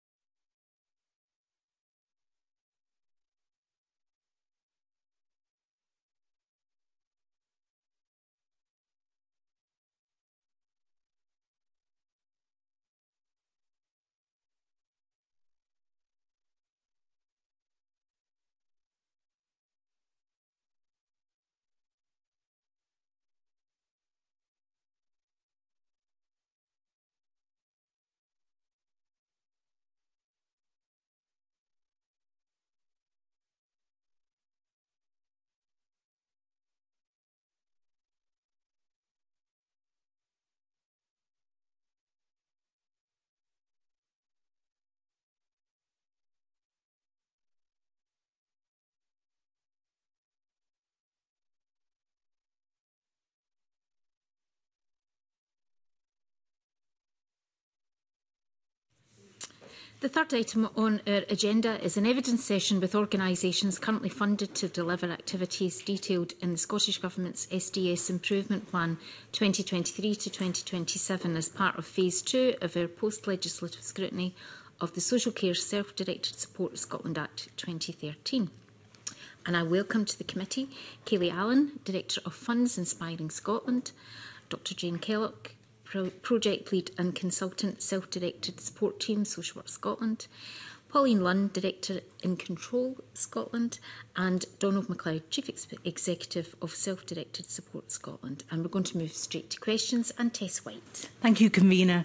Um, hello, panel. Um, I've got two questions, and if I can ask the first question to Dr. Jane Kellock and then uh, Donald McLeod, please. So, my first question is Given the changes since the Act was introduced, particularly the integration of health and social care and the proposed National Care Service, do you think that the Act requires any amendment? So Dr Kellock first, please.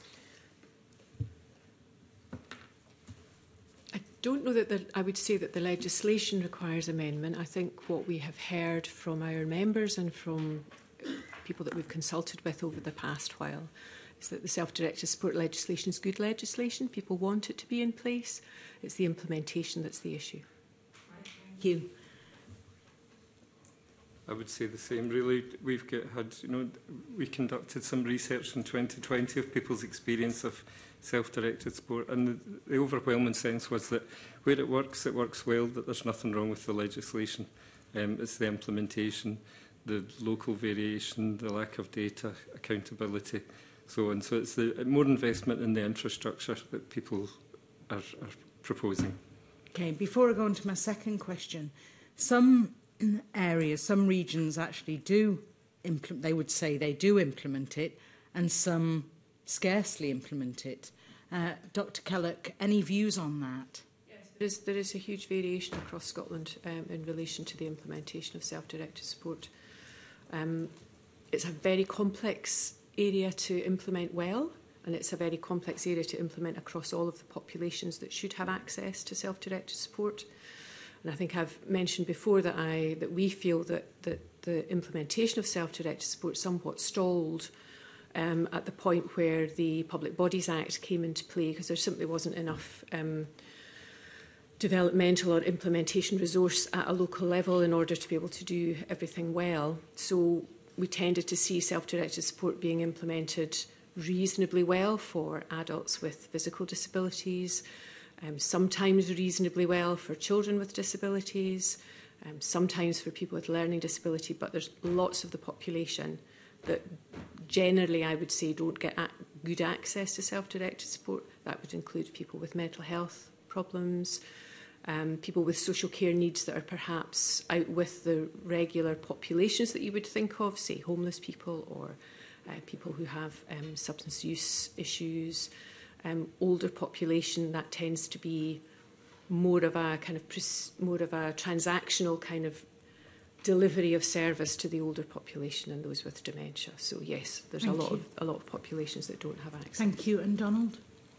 I think there's a, a number of important factors um, as to the, the lack of success in some local areas. Um, in some areas, well, in terms of there's no effective legal mechanisms for individuals um, seeking social care support to be able to challenge decisions. It's generally through the local authority complaints process, um, which is very opaque, um, quite generally. Then there's a lack of, da of data in terms of informing improvement. Uh, there's so much local interpretation of legislation. Um, social workers themselves are, are often, it varies in terms of whether, how well informed they are. Um, SDS isn't um, routinely on the curriculum for social work students. Um, and in terms of national consistency, as Jane pointed out, there's, there's a lack of availability of all four options across the board in some areas, particularly rural areas. And it's some of these, um, it's creating pressure points in the system that's overloading another part of the system, um, and it's something we'll maybe come on to later, but creating pressure currently just now, particularly on, on option one. Great, thank you. My second question is, um, does the panel think or has the collaboration discussed whether there are amendments required to the National Care Service Bill or the Public Bodies Joint Working Scotland Act 2014 to ensure the successful implementation of self-directed sport. Would anybody like to go first on that one?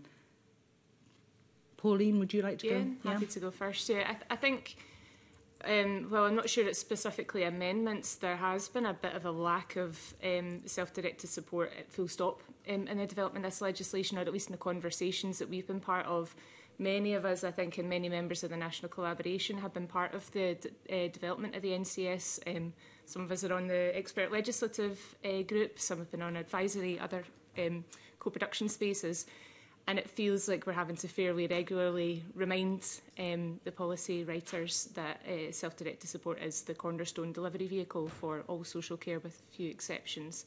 So I think while it's not necessarily a changes to the, the legislation, it's more a reinforcement that this is the national policy for social care. Thank you, because I suppose one of the concerns I've had is, and this is why this, com or collectively, this committee is doing this, this, uh, this, this study, is because mate, we need to really understand why self-directed support hasn't been implemented and look at those areas where it has and where, where it hasn't. So, Kylie, any comments on, on what um, Pauline has just said?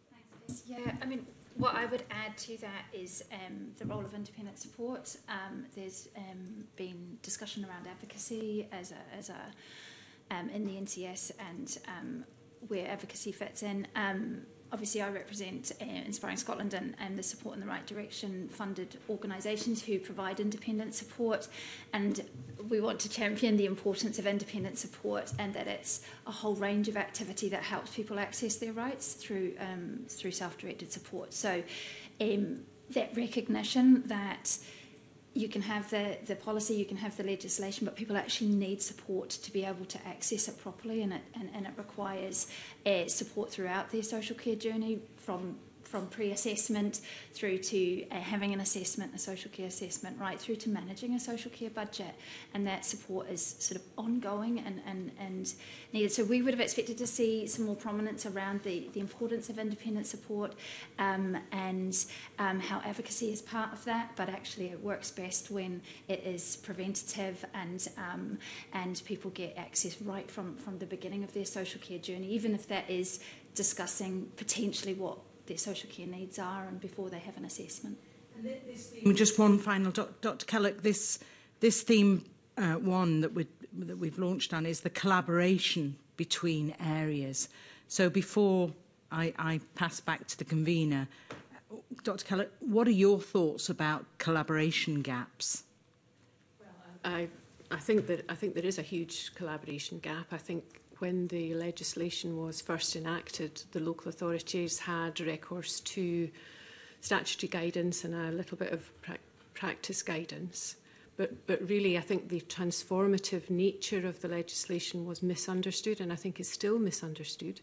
I think that that's what we see through the National Care Service, SDS, as a, as, as, a, as a sort of one phrase that uh, actually represents a huge amount of different aspects and elements.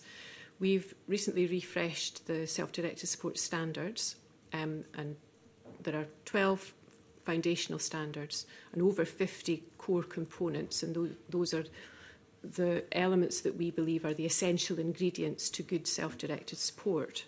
Um, so that's, that, that in itself says that there's a really co complex infrastructure needed in order for self-directed support to work well. And when you get a lack of understanding of self-directed support at that level of detail within national policy, that's where you get kind of lip service paid to it and not enough not enough detail. One of the things that we would like to see is the self-directed support standards and the core components being um, written into all relevant policies um, across Scotland at, at that level of detail so that so that you can see how how different policy areas would pick up on different aspects of self-directed support and help to make it um, to make it a reality, certainly within the National Care Service. And Callie's also talked about budget. Thank you, convener. Thank you. Emma Harper. Thank you, convener. Good morning to everybody. Um, I'm interested in the the improvement plan that has been um, updated, so 23 to 2023 to 2027.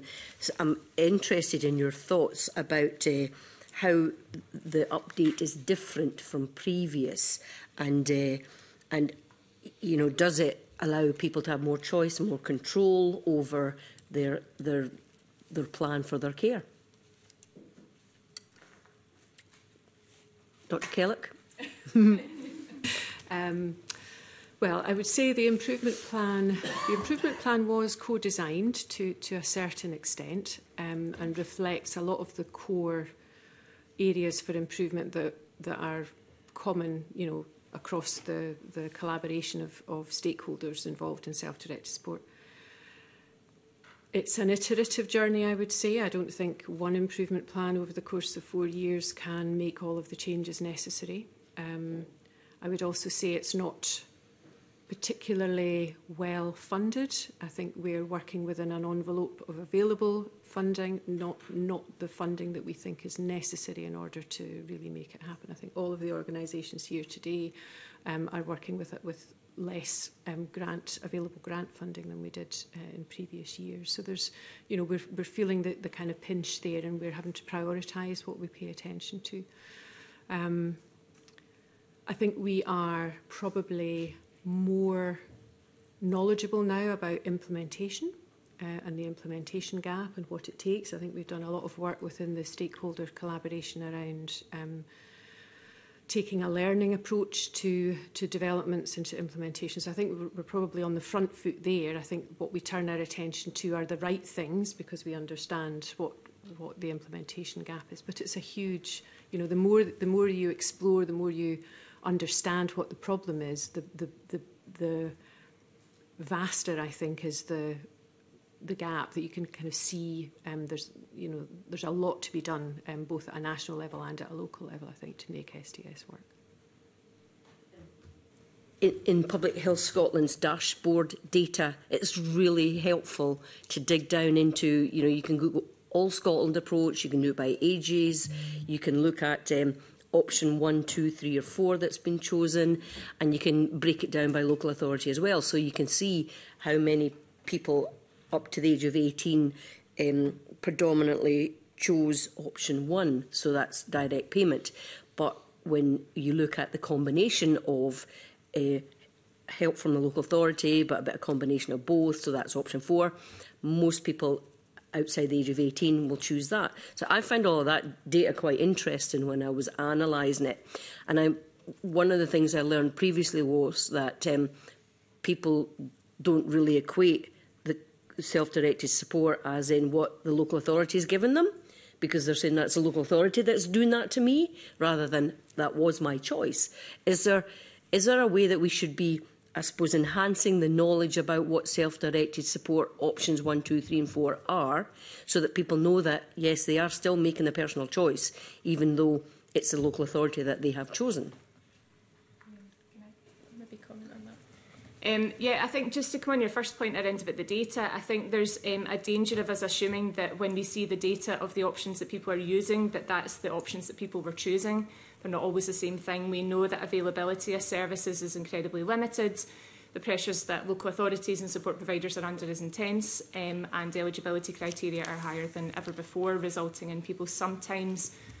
not um, having the support that they would necessarily choose. So just because we see that data doesn't necessarily mean that that's been an active choice. And I think all of us would agree that that's one of the big data gaps, is it's not just about recording who's using what, but it's how, how much of an active choice that's been and what, what their choice might have been um, otherwise.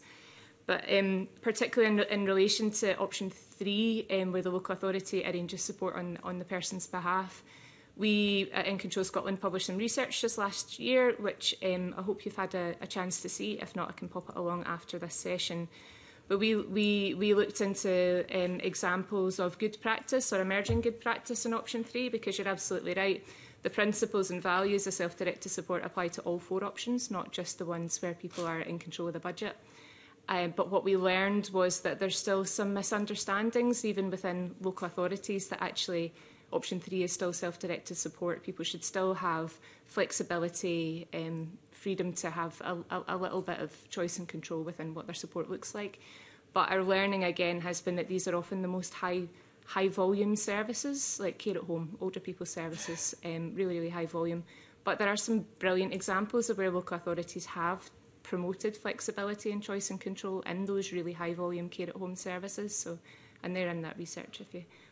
want to have a wee look at some point.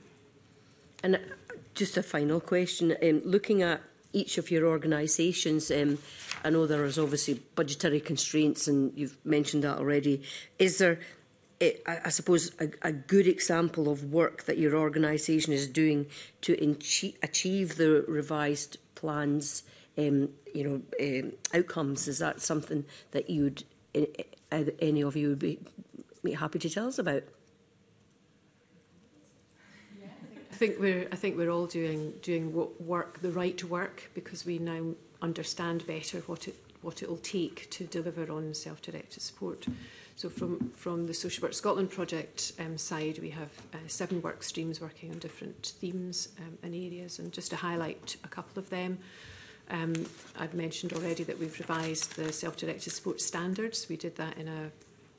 um, very co-productive way with a whole range of uh, stakeholders across um, uh, supported people. Um, we looked through different lenses to see who was getting access and who wasn't getting access to self-directed sport.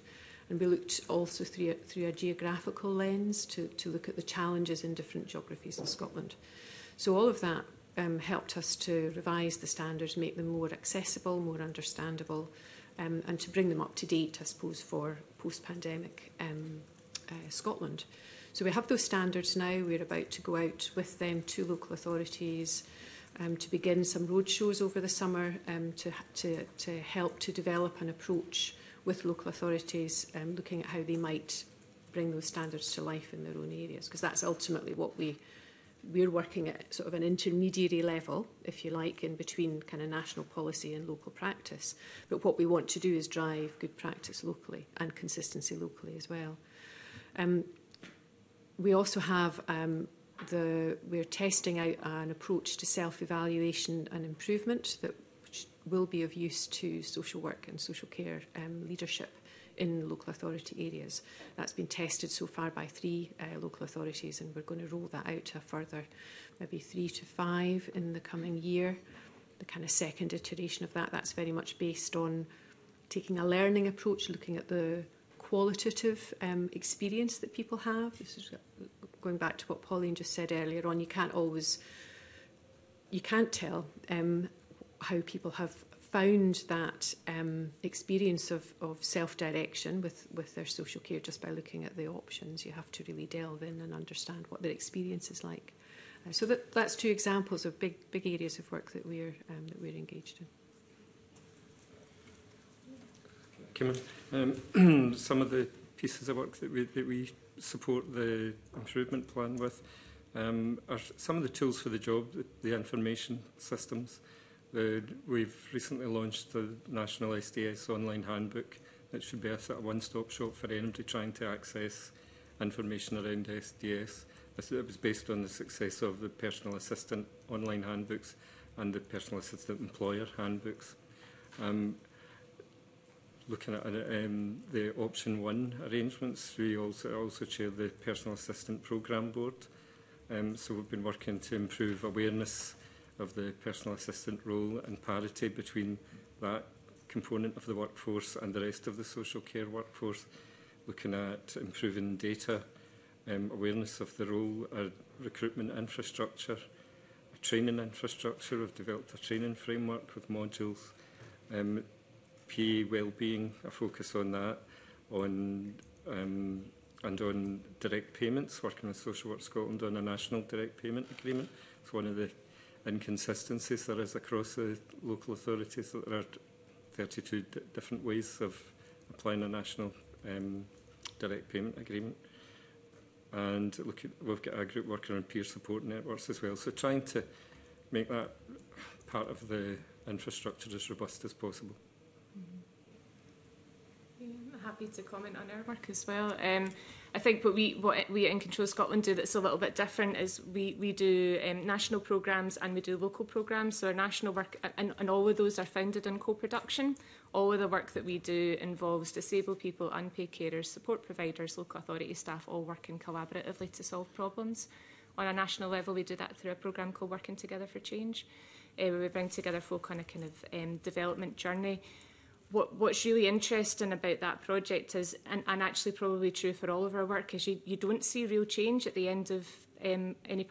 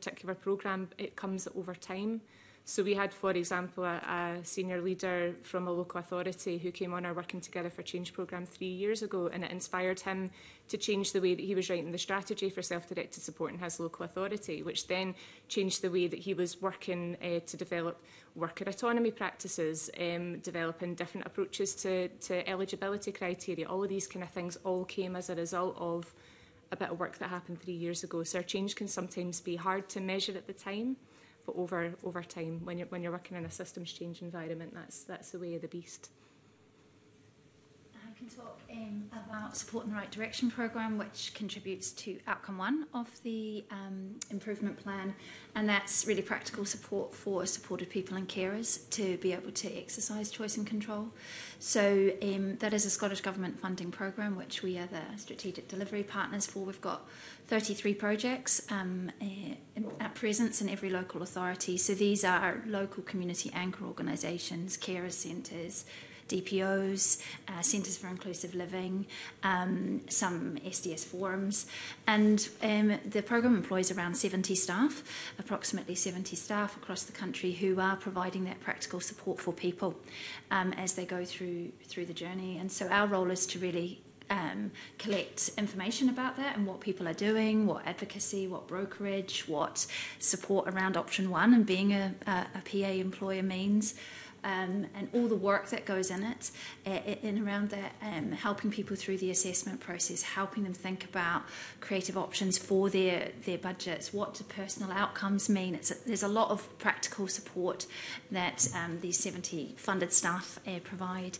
So we're gathering information on that, so we'll be able to collect some data about you know, at what point people are coming for independent support, who's not getting independent support, because there are a lot of people that with the best will in the world, 70 staff are not going to be able to reach.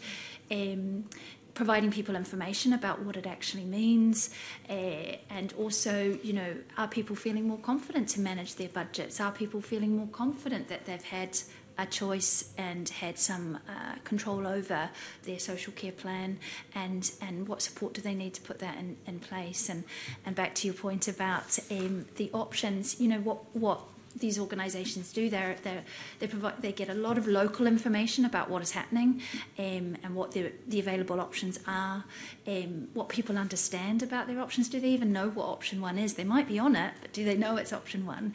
Um, so we gather a lot of that information and, and, and feed that into the collaboration and to, to Scottish Government about how people are actually experiencing it on the ground and and and these organisations quite often work with people when it's not going well.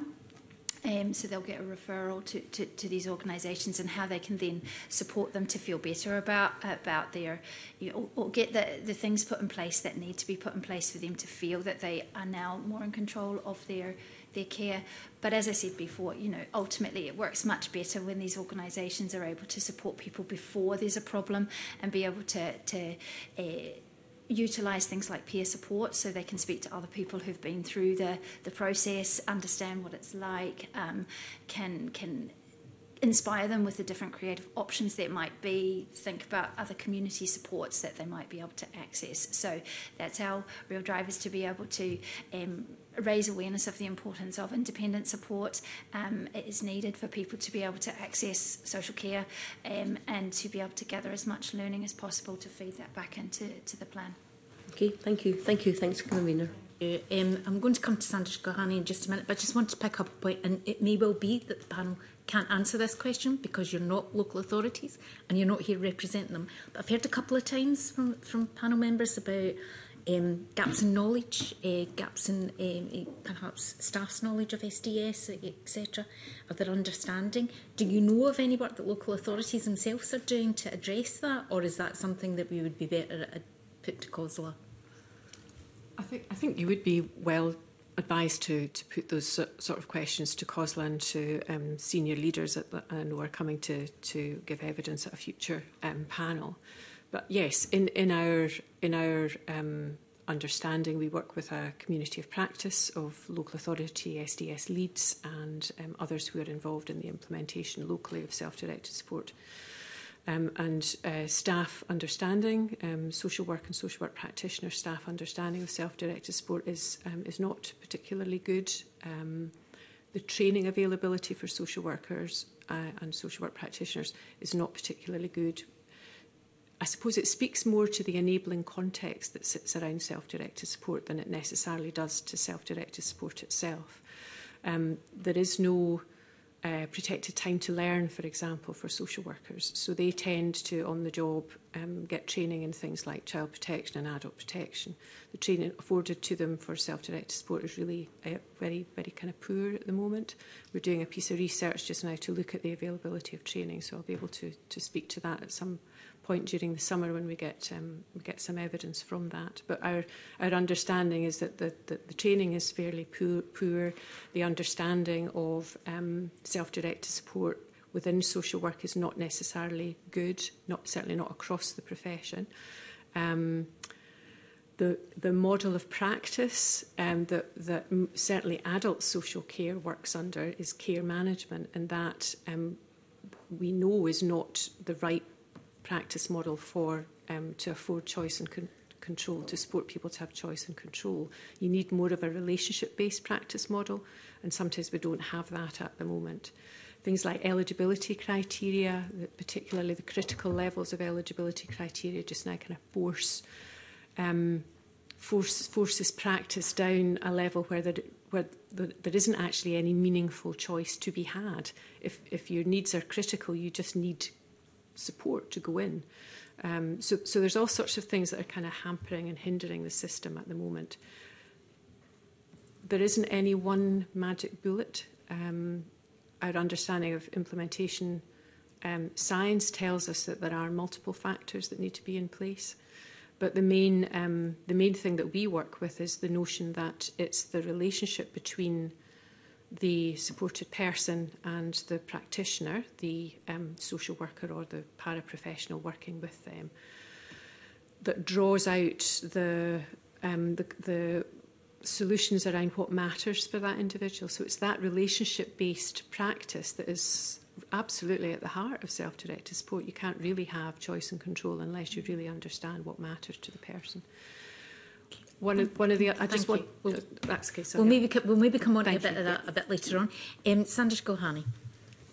Thank you, Convener. And just declaration of interest as a practicing NHS GP. Uh, Dr. Keller, can I turn to you uh, and, and, and ask? Um, so, we have strategies. We've got the promise, we have the National Care Service, we have dementia strategy. There are times when these policies are going to rub up against each other. And how is it that we're going to be able to navigate our way through? earlier about the, um, the nuanced understanding that's needed of self-directed support throughout all other related policy areas.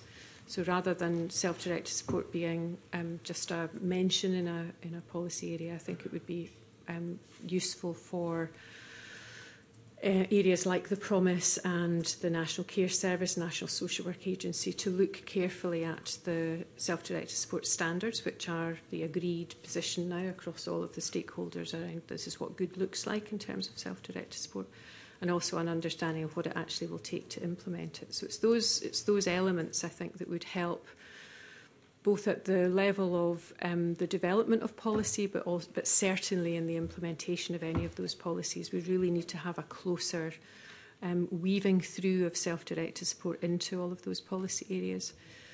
We have a national um, collaboration, a voluntary collaboration of all the stakeholders um, across the SDS community that would be more than willing to be involved in any of those areas. Um, and we're there for the asking, really. So um, that's just a, a punt, I suppose, to eh, get us involved more in the development of other policy areas. Thank you. Thank you. Can, can I move on a little bit to the evaluation of the implementation plan? So, uh, so I'm really keen to, to hear, you, you mentioned, um, Jane, that you, you feel that you're doing the right work. I think that was the, the phrase that, that you used. So how are you monitoring the, effective, uh, eh, the effectiveness of that work as you're going forward? Um, I think there's a range of different ways of doing that. We um, we always uh, have some form of evaluation of the work that we're that we're doing. We all do that um, uh, across the piece, and that all gets fed into um, the general understanding of um, of how effective our, our work is. It's difficult to measure quantitatively because we're dealing at the level of kind of fundamental change um, uh, and implementation to kind of development, uh, both nationally and locally. Um, but it is possible to look through a kind of a learning lens to see what it is that we're understanding and learning and how we're putting in place different strategies to meet uh, different needs at a local level. We're working at the moment with um, our Scottish Government colleagues around um, a plan for the monitoring and evaluation of the, of the, of the improvement plan. Um, so we're involved in that as well and co-producing what that will look like. That question wasn't specifically directed at Jane, but thank you for answering first. Kayleigh, do you want yeah. to come in and then I'll come to Pauline? Yeah, I guess we're in a slightly different situation in that we have organisations who are delivering for people, so we're able to gather feedback from people about the difference that that independent support makes to them. So we'll be collecting um, information,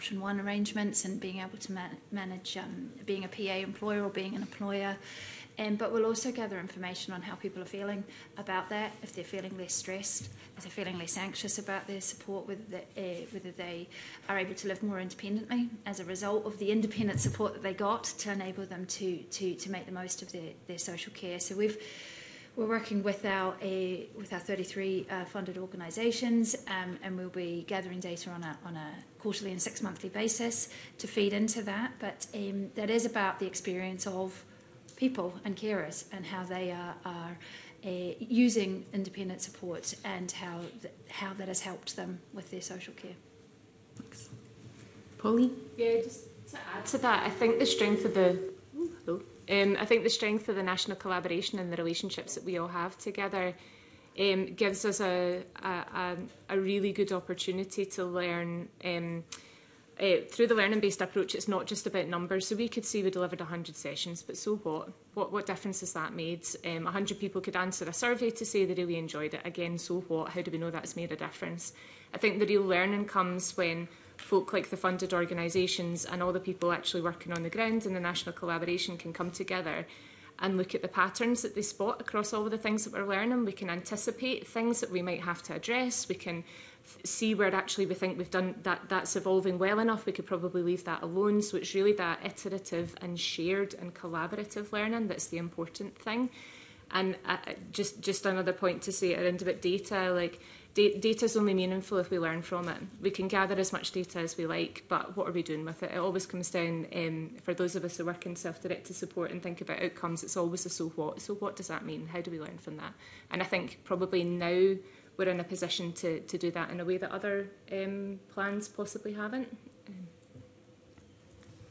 I think that's a really important point. We talk we talk about data a lot as MSPs, but it's what are we going to do with that data? You might have those numbers or, the, or those facts and figures, but it's how you, how you then use them to, to improve lives. Donald, I don't know if you wanted to come in. There's here. a huge amount to add, but really just that we will take that kind of human learning systems approach. It's about people's experience of self-directed support rather than um, systems-based data that, that's going to be a way forward. And we were involved, the collaboration was involved in co-producing the improvement plan.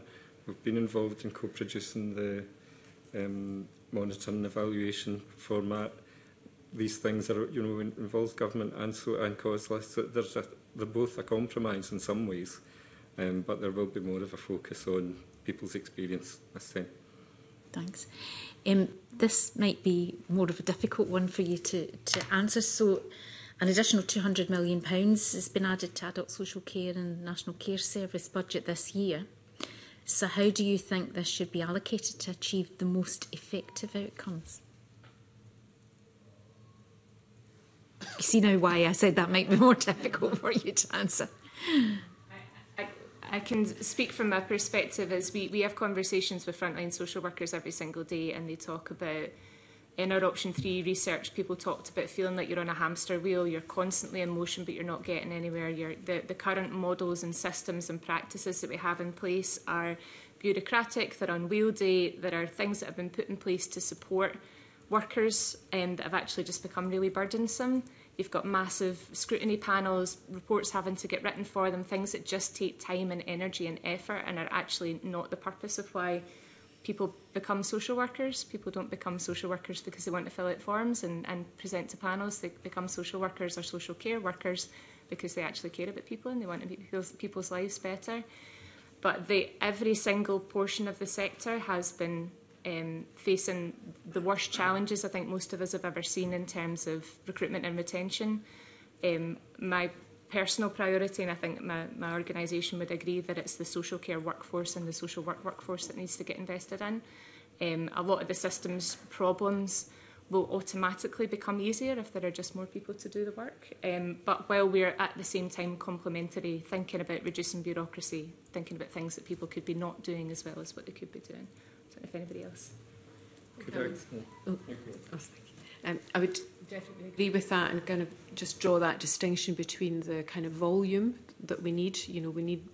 more workers, um, we need them better paid, we need to attract people into the sector. But there's also the systems issue, and at the moment the practice model isn't right. The systems that sit behind um, social workers and social work practitioners uh, within local authorities are cumbersome, very difficult to navigate. Um, so definitely there needs to be improvements there um, so that we have a, a practice model that is, that is well placed to support um, the fundamental um, principle of, of self-directed support, which is choice and control. Donald, do you want to come in there? Please, um, just referring back to the independent review of adult social care, um, what Derek fully advocated within that was the national care service delivered with the full involvement of the independent living movement, the disabled people's independent living movement in Scotland.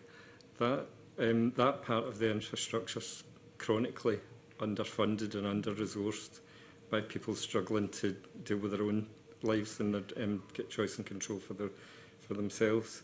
Um, the during the pandemic, people, disabled people felt that their lives were becoming deprioritised. Um, the disability equality strategy, that hasn't been delivered.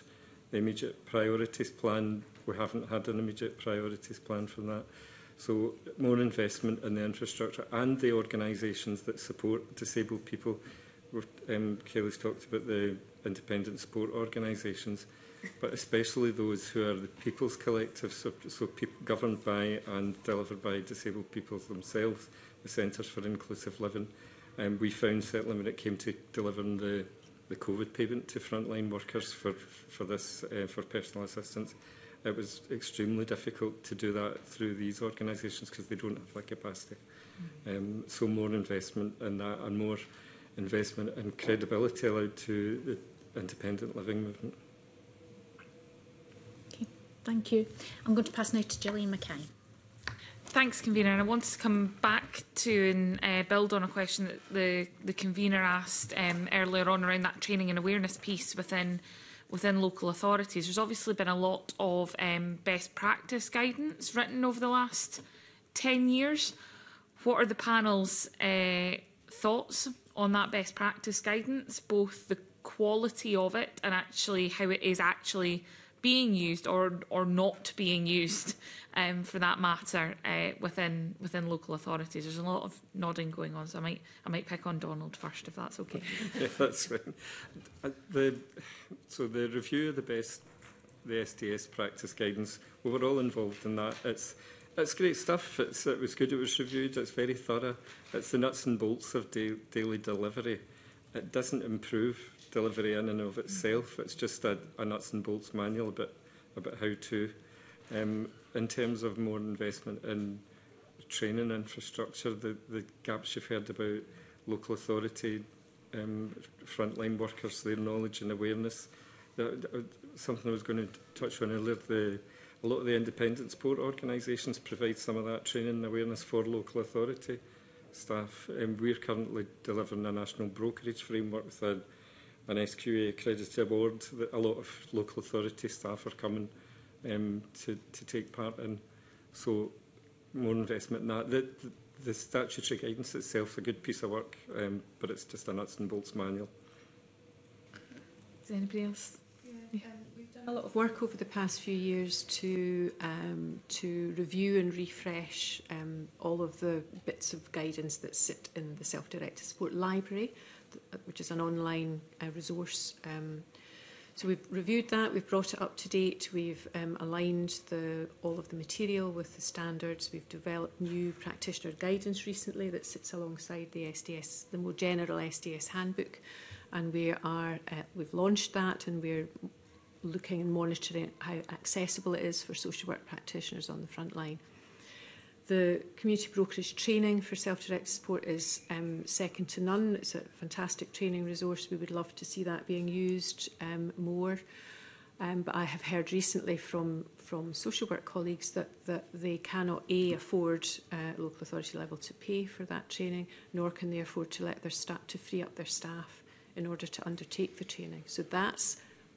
you know, we do have to understand that. It's not just about the, the the quality of the resource that's available. It's the what we would call the installation of it. Is like how does it land? Can people actually use it in a in a meaningful way on a day to day basis? That's where we're finding most of the difficulty, um, and and how we'll be we'll be exploring over the summer with three local authorities in depth how easy or otherwise it will be for them to use the self-directed sports standards to bring those standards to life. So we'll get an immense amount of information and data, I think, from that process, really understanding what is what's going on at a local level that would that would mitigate against these standards being brought into play in, in a kind of full way. So, so there's more to, there's more to be understood. It's a very very complex um, kind of system. So yes, there's resources, there's training, but there's a whole lot of other enabling or disabling factors in terms of people being able to use it. That's really useful. Yeah, I was just add, and I'll, I'll talk about the independent support organisations as well.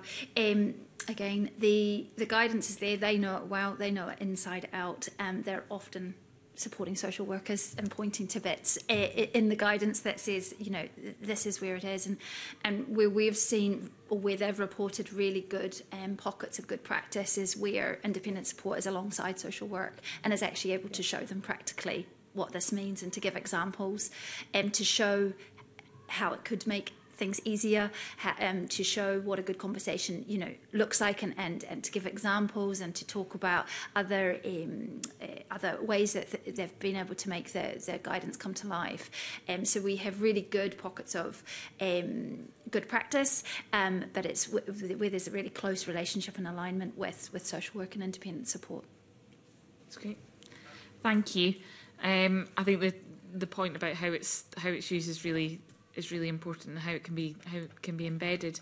Um, national consistency is always something that comes up with with self-directed um, support as well. Which of the activities in the improvement plan do you think will or or will not help address that um, that piece of national consistency? And are there any aspects of SDS you think should or could be standardised um, nationally as as an approach? Pauline's nodding. Yeah, I, I, think on the second part of your question, um, one of the things that we've uncovered um, is around definitions. So, so see at the very, very beginning of somebody's um, journey and sticking their hand up and saying, I need some help, often the information they're presented with about self-directed support sits separately on a local authority's website to the rest of social care. So we've already othered it as something different and something more complicated. And people who've heard me speak before will know I'm, I'm quite fond of saying that we, we kind of need to stop talking about self-directed support because it's just business as usual. It's just the way we do social care. By giving it a name and putting it on a different bit of the website, we, we make things seem more complicated than they actually are. But in our learning around about particularly the bits of research we've done recently on options two and three is that there are differences in the language used to describe the options, which can be really problematic and they, they can be really subtle. but they can be really powerful. So in our option three research, we talked about um, the, the examples of how option three was described on three local authorities where you can choose to let the local authority arrange support. Um, you can ask for support to be arranged on your behalf, or you may wish for support to be arranged by the local authority. And those three words are quite different. So, so from the very, very beginning point, you've got the opportunity for inconsistency because I can wish for I can wish I win the lottery, but it doesn't mean I'm going to do it. So there's there's um, but but me actively choosing that is a different strength of word. So I think right at the very beginning, there are there are issues around about shared understanding and definitions of, of what self-directed support is and could be. And I think the statutory guidance did some improvement to that when we updated it because the definition of option two is a bit less woolly than it than it was before but that, that just shows that the very as soon as you, you're at the front door, um, there can be inconsistencies that um, arise from the language and the way that we describe things. I'm, if I could say, I'm, I'm not, I'm not too sure if if anything could be standardised in quite the way that you might be able to standardise something that's more procedural, because um, I don't think self-directed support is. I think there are definitely, and we're all involved in trying to bring um, consistent approaches to the fore in terms of best practice at that kind of intermediary level that we can then um, encourage and support local authorities to adopt. Just thinking of one of the areas of work that we're involved in, which is the, um, the self-evaluation and improvement framework. So we're trying to get a common approach that um, can sit across a whole range of different um, improvement models that local authorities might already be engaged in through their health and social care partnership. In fact, Pauline was involved in, in one such um, testing out of, of, uh, of, of the framework in, um, in one of the local authority areas. So that's we're trying to, to, to build frameworks that will help to support people to come together in a learning way and to um, understand what needs to be done at their local authority level using the SDS standards, which I guess is the, is the most standardised uh, tool that we have um, in our toolkit at the moment. We're also um, bringing together local authorities through a community of practice to engage together in their self-improvement journey. Um, and we think that that will, will bring benefits because people will be able to learn from one another. Um, we have a we also host a um, a group of uh, self-directed support leads who at the moment are looking at their policies and procedures and we're looking at ways of trying to, to bring them together to do that in a more um, systematic way to learn together so that, so, so that they're not just developing things separately in the local authority bubble, as it were. So that's the kind of, you know, it, it, it takes a lot of co-production, I mean, this is co-production work, really. We're, we're trying to do that at, at, at a level where we're working with uh, with, with people all together and benefiting from the experience of um, supported people and carers along the way. That's great. Thank you. Thanks, Convener. Sandish Gohani. Thank you, Convener. Um, Dr Kellogg, if I can come back to you. Um, I've got a, couple, a, number of um, very direct questions. I suppose if you don't know the answer to that, that's fair enough. Um, how many social workers do we have here in Scotland? Oh, no, that's not something I can actually answer. I, I, I'm, I'm not, uh, I would be I'd be wrong to, to suggest uh, a, an okay, answer no, to that. that. Um, I mean, there are thousands of social workers. Um, the most up-to-date statistics are, uh, I think Triple SC would have those in terms of how many uh, social workers are registered, but I haven't seen the most recent yes, statistics. There's about 6,000 local authorities, about 10,000 registered. What's the average working life of a social worker in Scotland? Um, Social Work Scotland did some research just the other year, and we found that um, uh, some of the populations of social workers were leaving the profession within six years. Uh, and our understanding is that that is getting less than it than it used to be, and there's all sorts of um, reasons cited uh, in terms of terms and conditions, working life, um, life balance, the the kind of practice model, I think, also is uh, a contributory factor to that talking about training and, and social workers coming into the the workforce, uh, do we know how many are being trained annually? Uh, and is this a significant increase on where it's been in the Sorry. past? Yeah, these are statistics I don't have to hand, I'm afraid. Um, okay. We will. We do know. We do know that. I mean, um, again, just anecdotally, I suppose, are thinking about. Um, there is work underway to improve social work education, to um, improve the uh, support for newly qualified social workers. So that's all really valuable work that's happening um, at a national level uh, and happening through universities as well. Um, so, th so there are improvements being made, um, most definitely. In terms of self-directed support, I think the sort of mention already made to the um, the sort of training that people get when they're training in social work at the kind of university level is not particularly high. So people are often coming off of courses not really understanding an awful lot about self directed support and having to kind of learn on the job. Um, so there are issues there for sure. Okay. And I think it's safe to say that social workers aren't sitting idle. They are very busy with yes. what they do. Um, I, I mean, 40% of social workers reported their workload was unmanageable. 70% of social workers reported they couldn't complete their work in the contracted hours. Rural areas find it harder to recruit and train social workers. Um, 20% of the social work workforce left in 2020 with 40% planning to leave the next three years. Now, everything I see coming through from Scottish Government requires social workers. An example is the need for 500 social workers for the Children and Justice Bill alone. So, how could we possibly, even with more money coming in to be spent, if you don't have the workforce, you don't have the social workers, and they're leaving after only six to seven years, how could we possibly go through and, and, and put and implement policies successfully? I'm, I'm not disagreeing um, with, with any of that, and I think it is a major, a major issue for the social work profession, um, as well as the workforce, the social care workforce being um, not have, as well as us not having enough in, uh, of resource in the social care workforce. I think you're absolutely right. The social work workforce is, is extremely uh, pressurised um, at the front line. Um, quite a number of um, there are quite a number of uh, paraprofessionals as well, um, unqualified people working within social work uh, teams too, um, and that I think you know, there's something also there that we need to address around the balance um, of that. Do we have that balance right? Are we training um, those members of staff in order to be able to to deliver um, policies like self-directed support? So yes, a lot of a lot of issues certainly with the social work profession.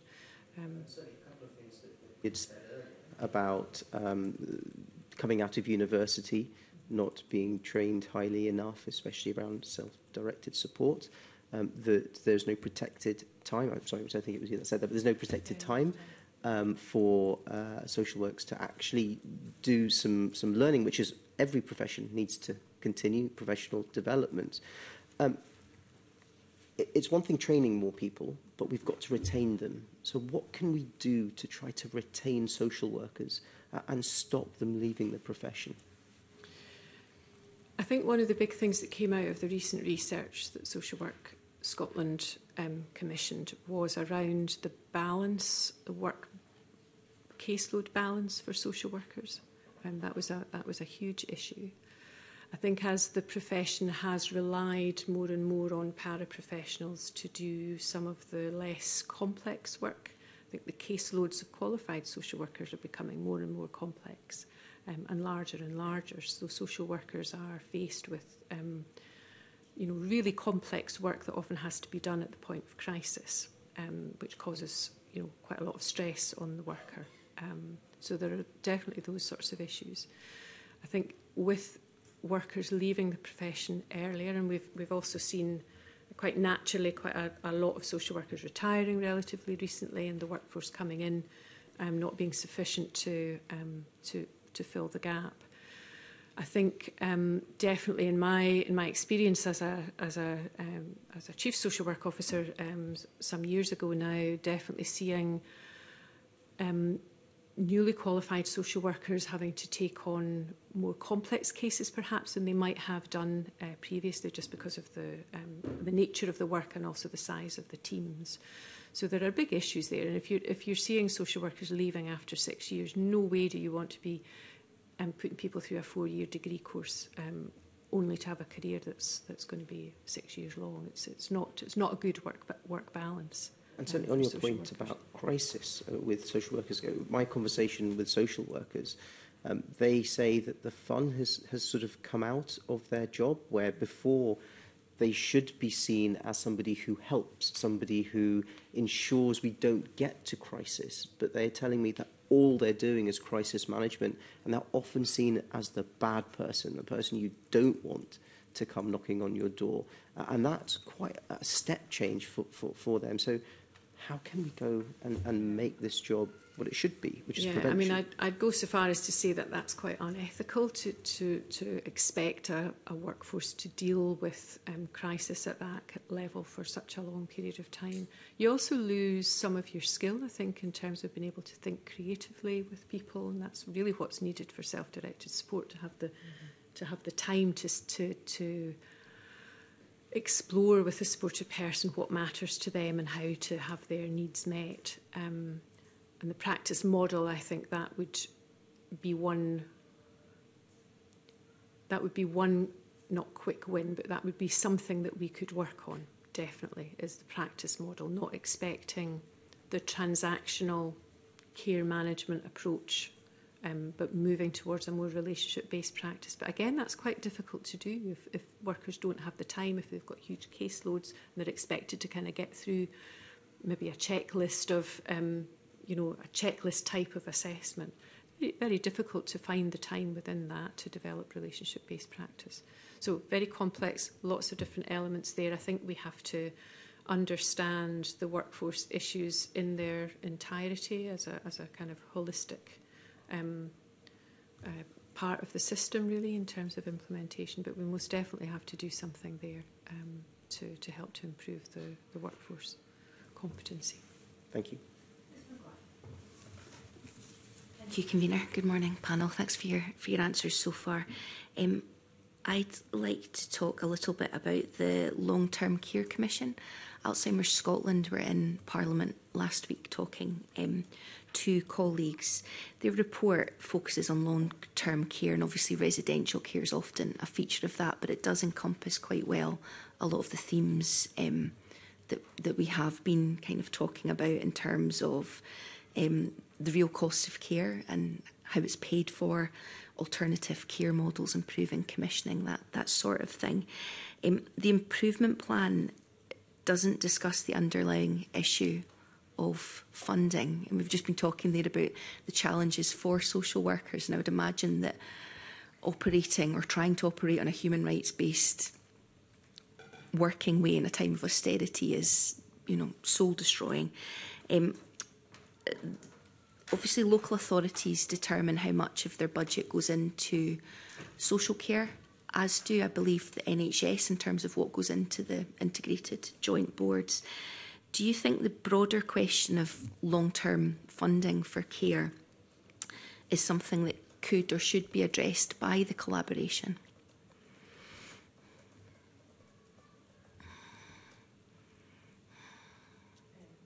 I'm, I'm not sure how much of that is within our sphere of influence um, in terms of how local authorities disseminate their budgets wouldn't be something that us as funded partners would have much of a sway in. We certainly have opinions on it. um,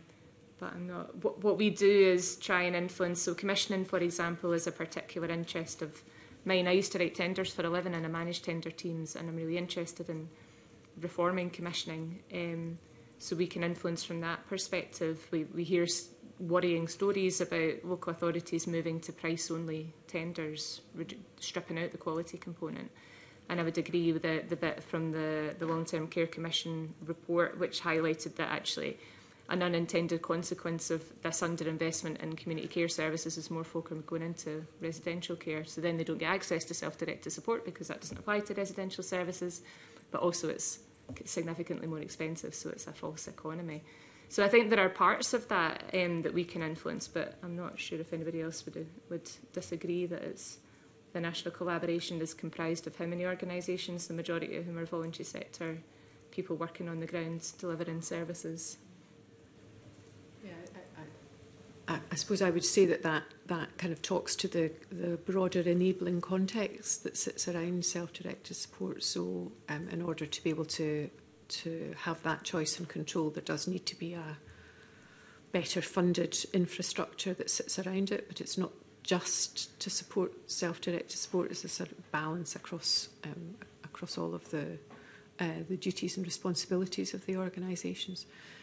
Certainly, I think we would um, we would want the opportunity for our understanding of self-directed support um, implementation uh, and quality and practice to be understood better by those in positions where to, that make those sorts of decisions, which goes back to the points I was making earlier about the kind of policy, that sort of deep understanding of self-directed support wedded through the kind of policy context.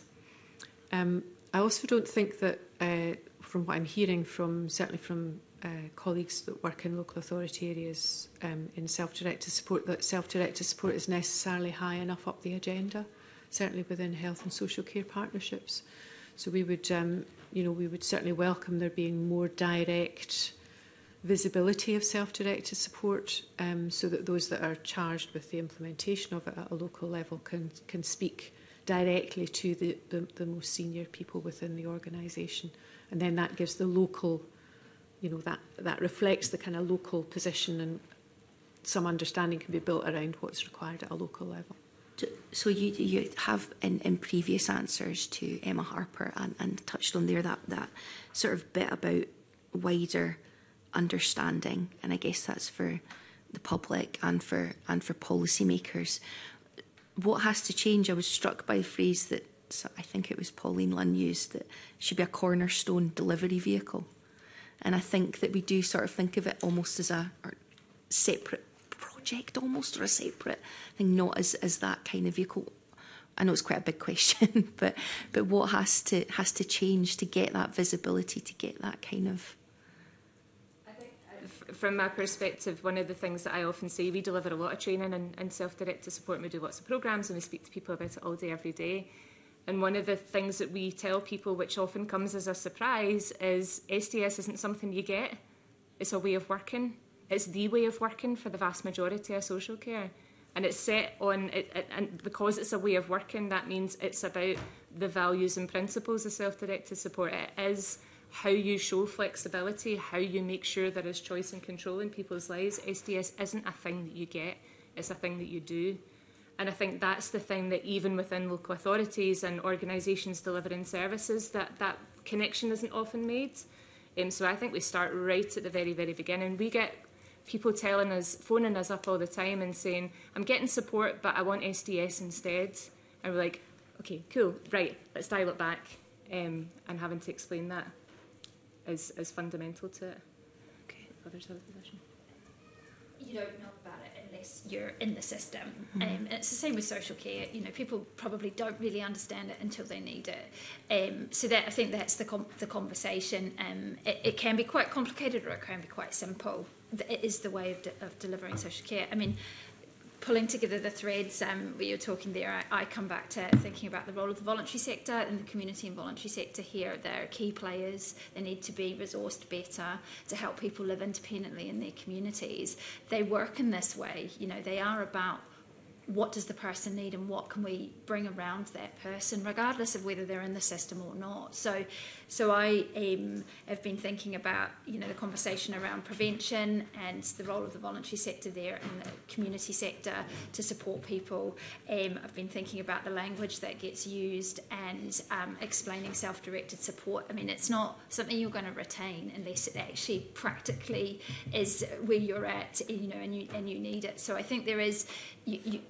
you, you can um, we can have better definitions and we can have a national uh, consistency, which would be good around how we talk talk about self-directed support, but I also think it is really embedded in the way that we work with people. Um, you know, what matters to you? You've got choice. Here's some options, and that's what you know. The, the voluntary sector is very good, and community sector is very good at, at delivering.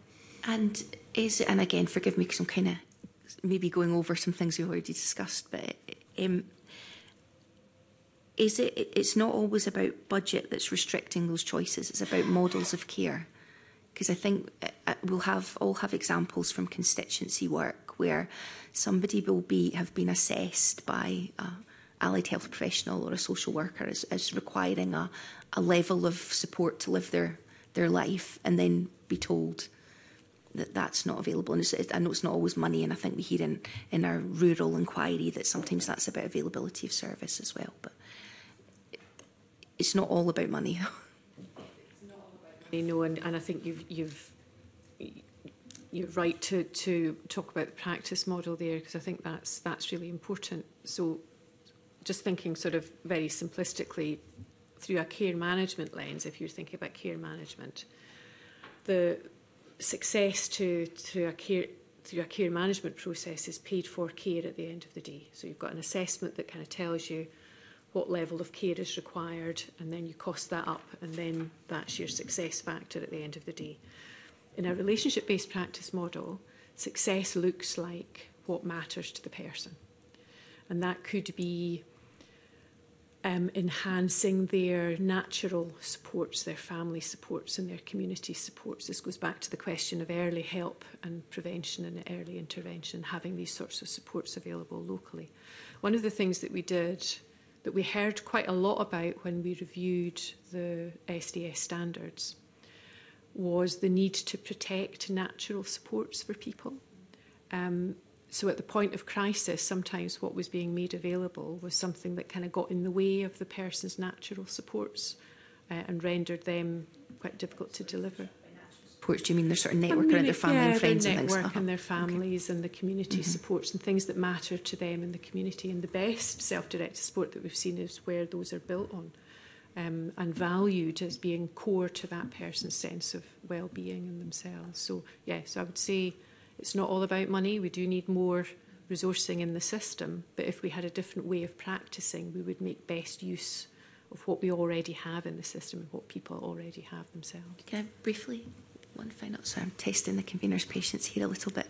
Is is the movement? I um, mean, obviously the the, the challenge in moving from say simplistically from from prevention to, to patching things up if we think about hospitals and investment in, in community care it's the moving the money away from the fixing stuff rather than the relationship and the preventative stuff is it a similar situation is that i'm trying to understand what the blocker is from moving from that here's what you need and here's how we're going to give you it to the, the relationship that we're, we're talking about there.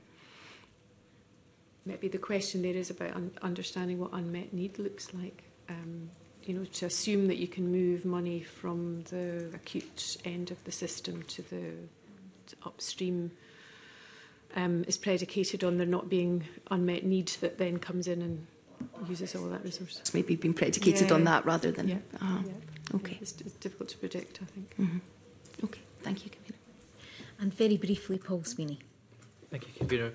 Um, I'd just like to ask about the impact of, of funding on uh, future service design. I mean, clearly local authorities have had, on average, a 10% cut over the last decade. Um, around 80% of local authority funding is central government grant, 20% is raised through council tax and local charges. I think in, certainly in Glasgow's instance, we've gone from about 60 odd percent um, being spent on education and social work or social care uh, to over 70%. So clearly, you know, this council's focus has been pared down to two big areas of policy delivery, um, which then puts subsequent pressure on delivery.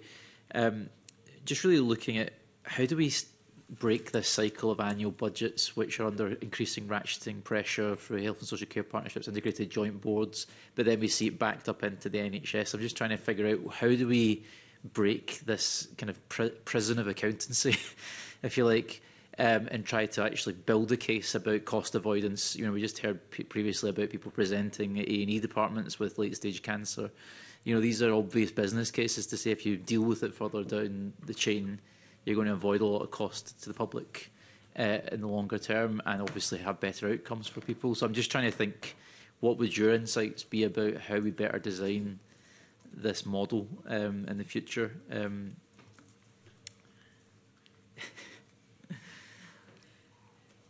maybe above our pay grade. Um, I'm sure we I'm sure we have some opinion though around around that. It's very very complex. I, I used to be involved in um, designing health uh, systems to sort of tackle health inequality, and those were in the days where where there was funding in the system. Um, sometimes it's about the knowing what to do, you know, knowing what is the right thing to do in order to unblock systems. So you need to have a really good understanding of whole system um, dynamics, I guess. And this is where you look, where we look towards implementation science, um, which is a much more, which is a much wider um, field of understanding. I think about complex social policy and um, and health policy, rather than sort of thinking, well, yes, there's a simple solution to this. We do this bit over here. It's about the unintended consequences and understanding um, how you kind of mitigate those, I suppose. Our approach is to start small, test small, test in different environments so that you can understand what's happening um, out there. Um, one of the things that we've picked up in our recent um, engagement with, with people is the sort of arbitrary decisions that are made to help to say, for example, to um, uh, you know to to um, protect um, kind of local authority budgets or to prioritise how local authority budgets are being spent. So rules will come in.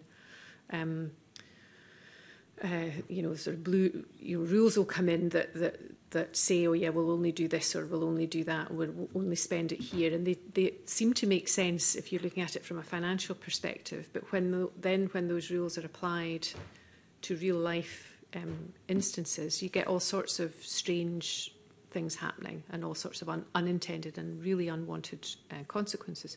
That's where um, what we've been hearing about people's natural supports getting interfered with comes from those sorts of decisions and rules being put in place to, to try to control spend and manage within budgets.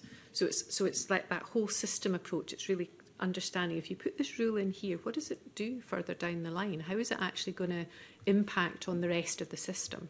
So there's something there about really thinking things through well, not rushing to um, to make decisions, thinking in a whole system basis, really understanding what good implementation looks like, not just what good self in this case self-directed support looks like, um, and, and working in a co-productive learning way with your with the whole range of stakeholders. Quite difficult to do, I think. We've, I think, through the national collaboration and the work that we do.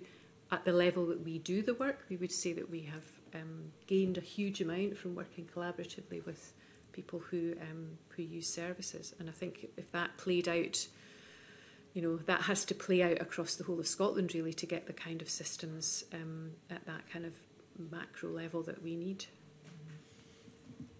Thank you. Thank you. Uh, Can I thank the, the panel for um, their evidence today Um, next week, the committee will continue phase two of its post-legislative scrutiny of the Social Care Self-Directed Support Scotland Act 2013 with an evidence session with excuse me, Integration Joint Boards.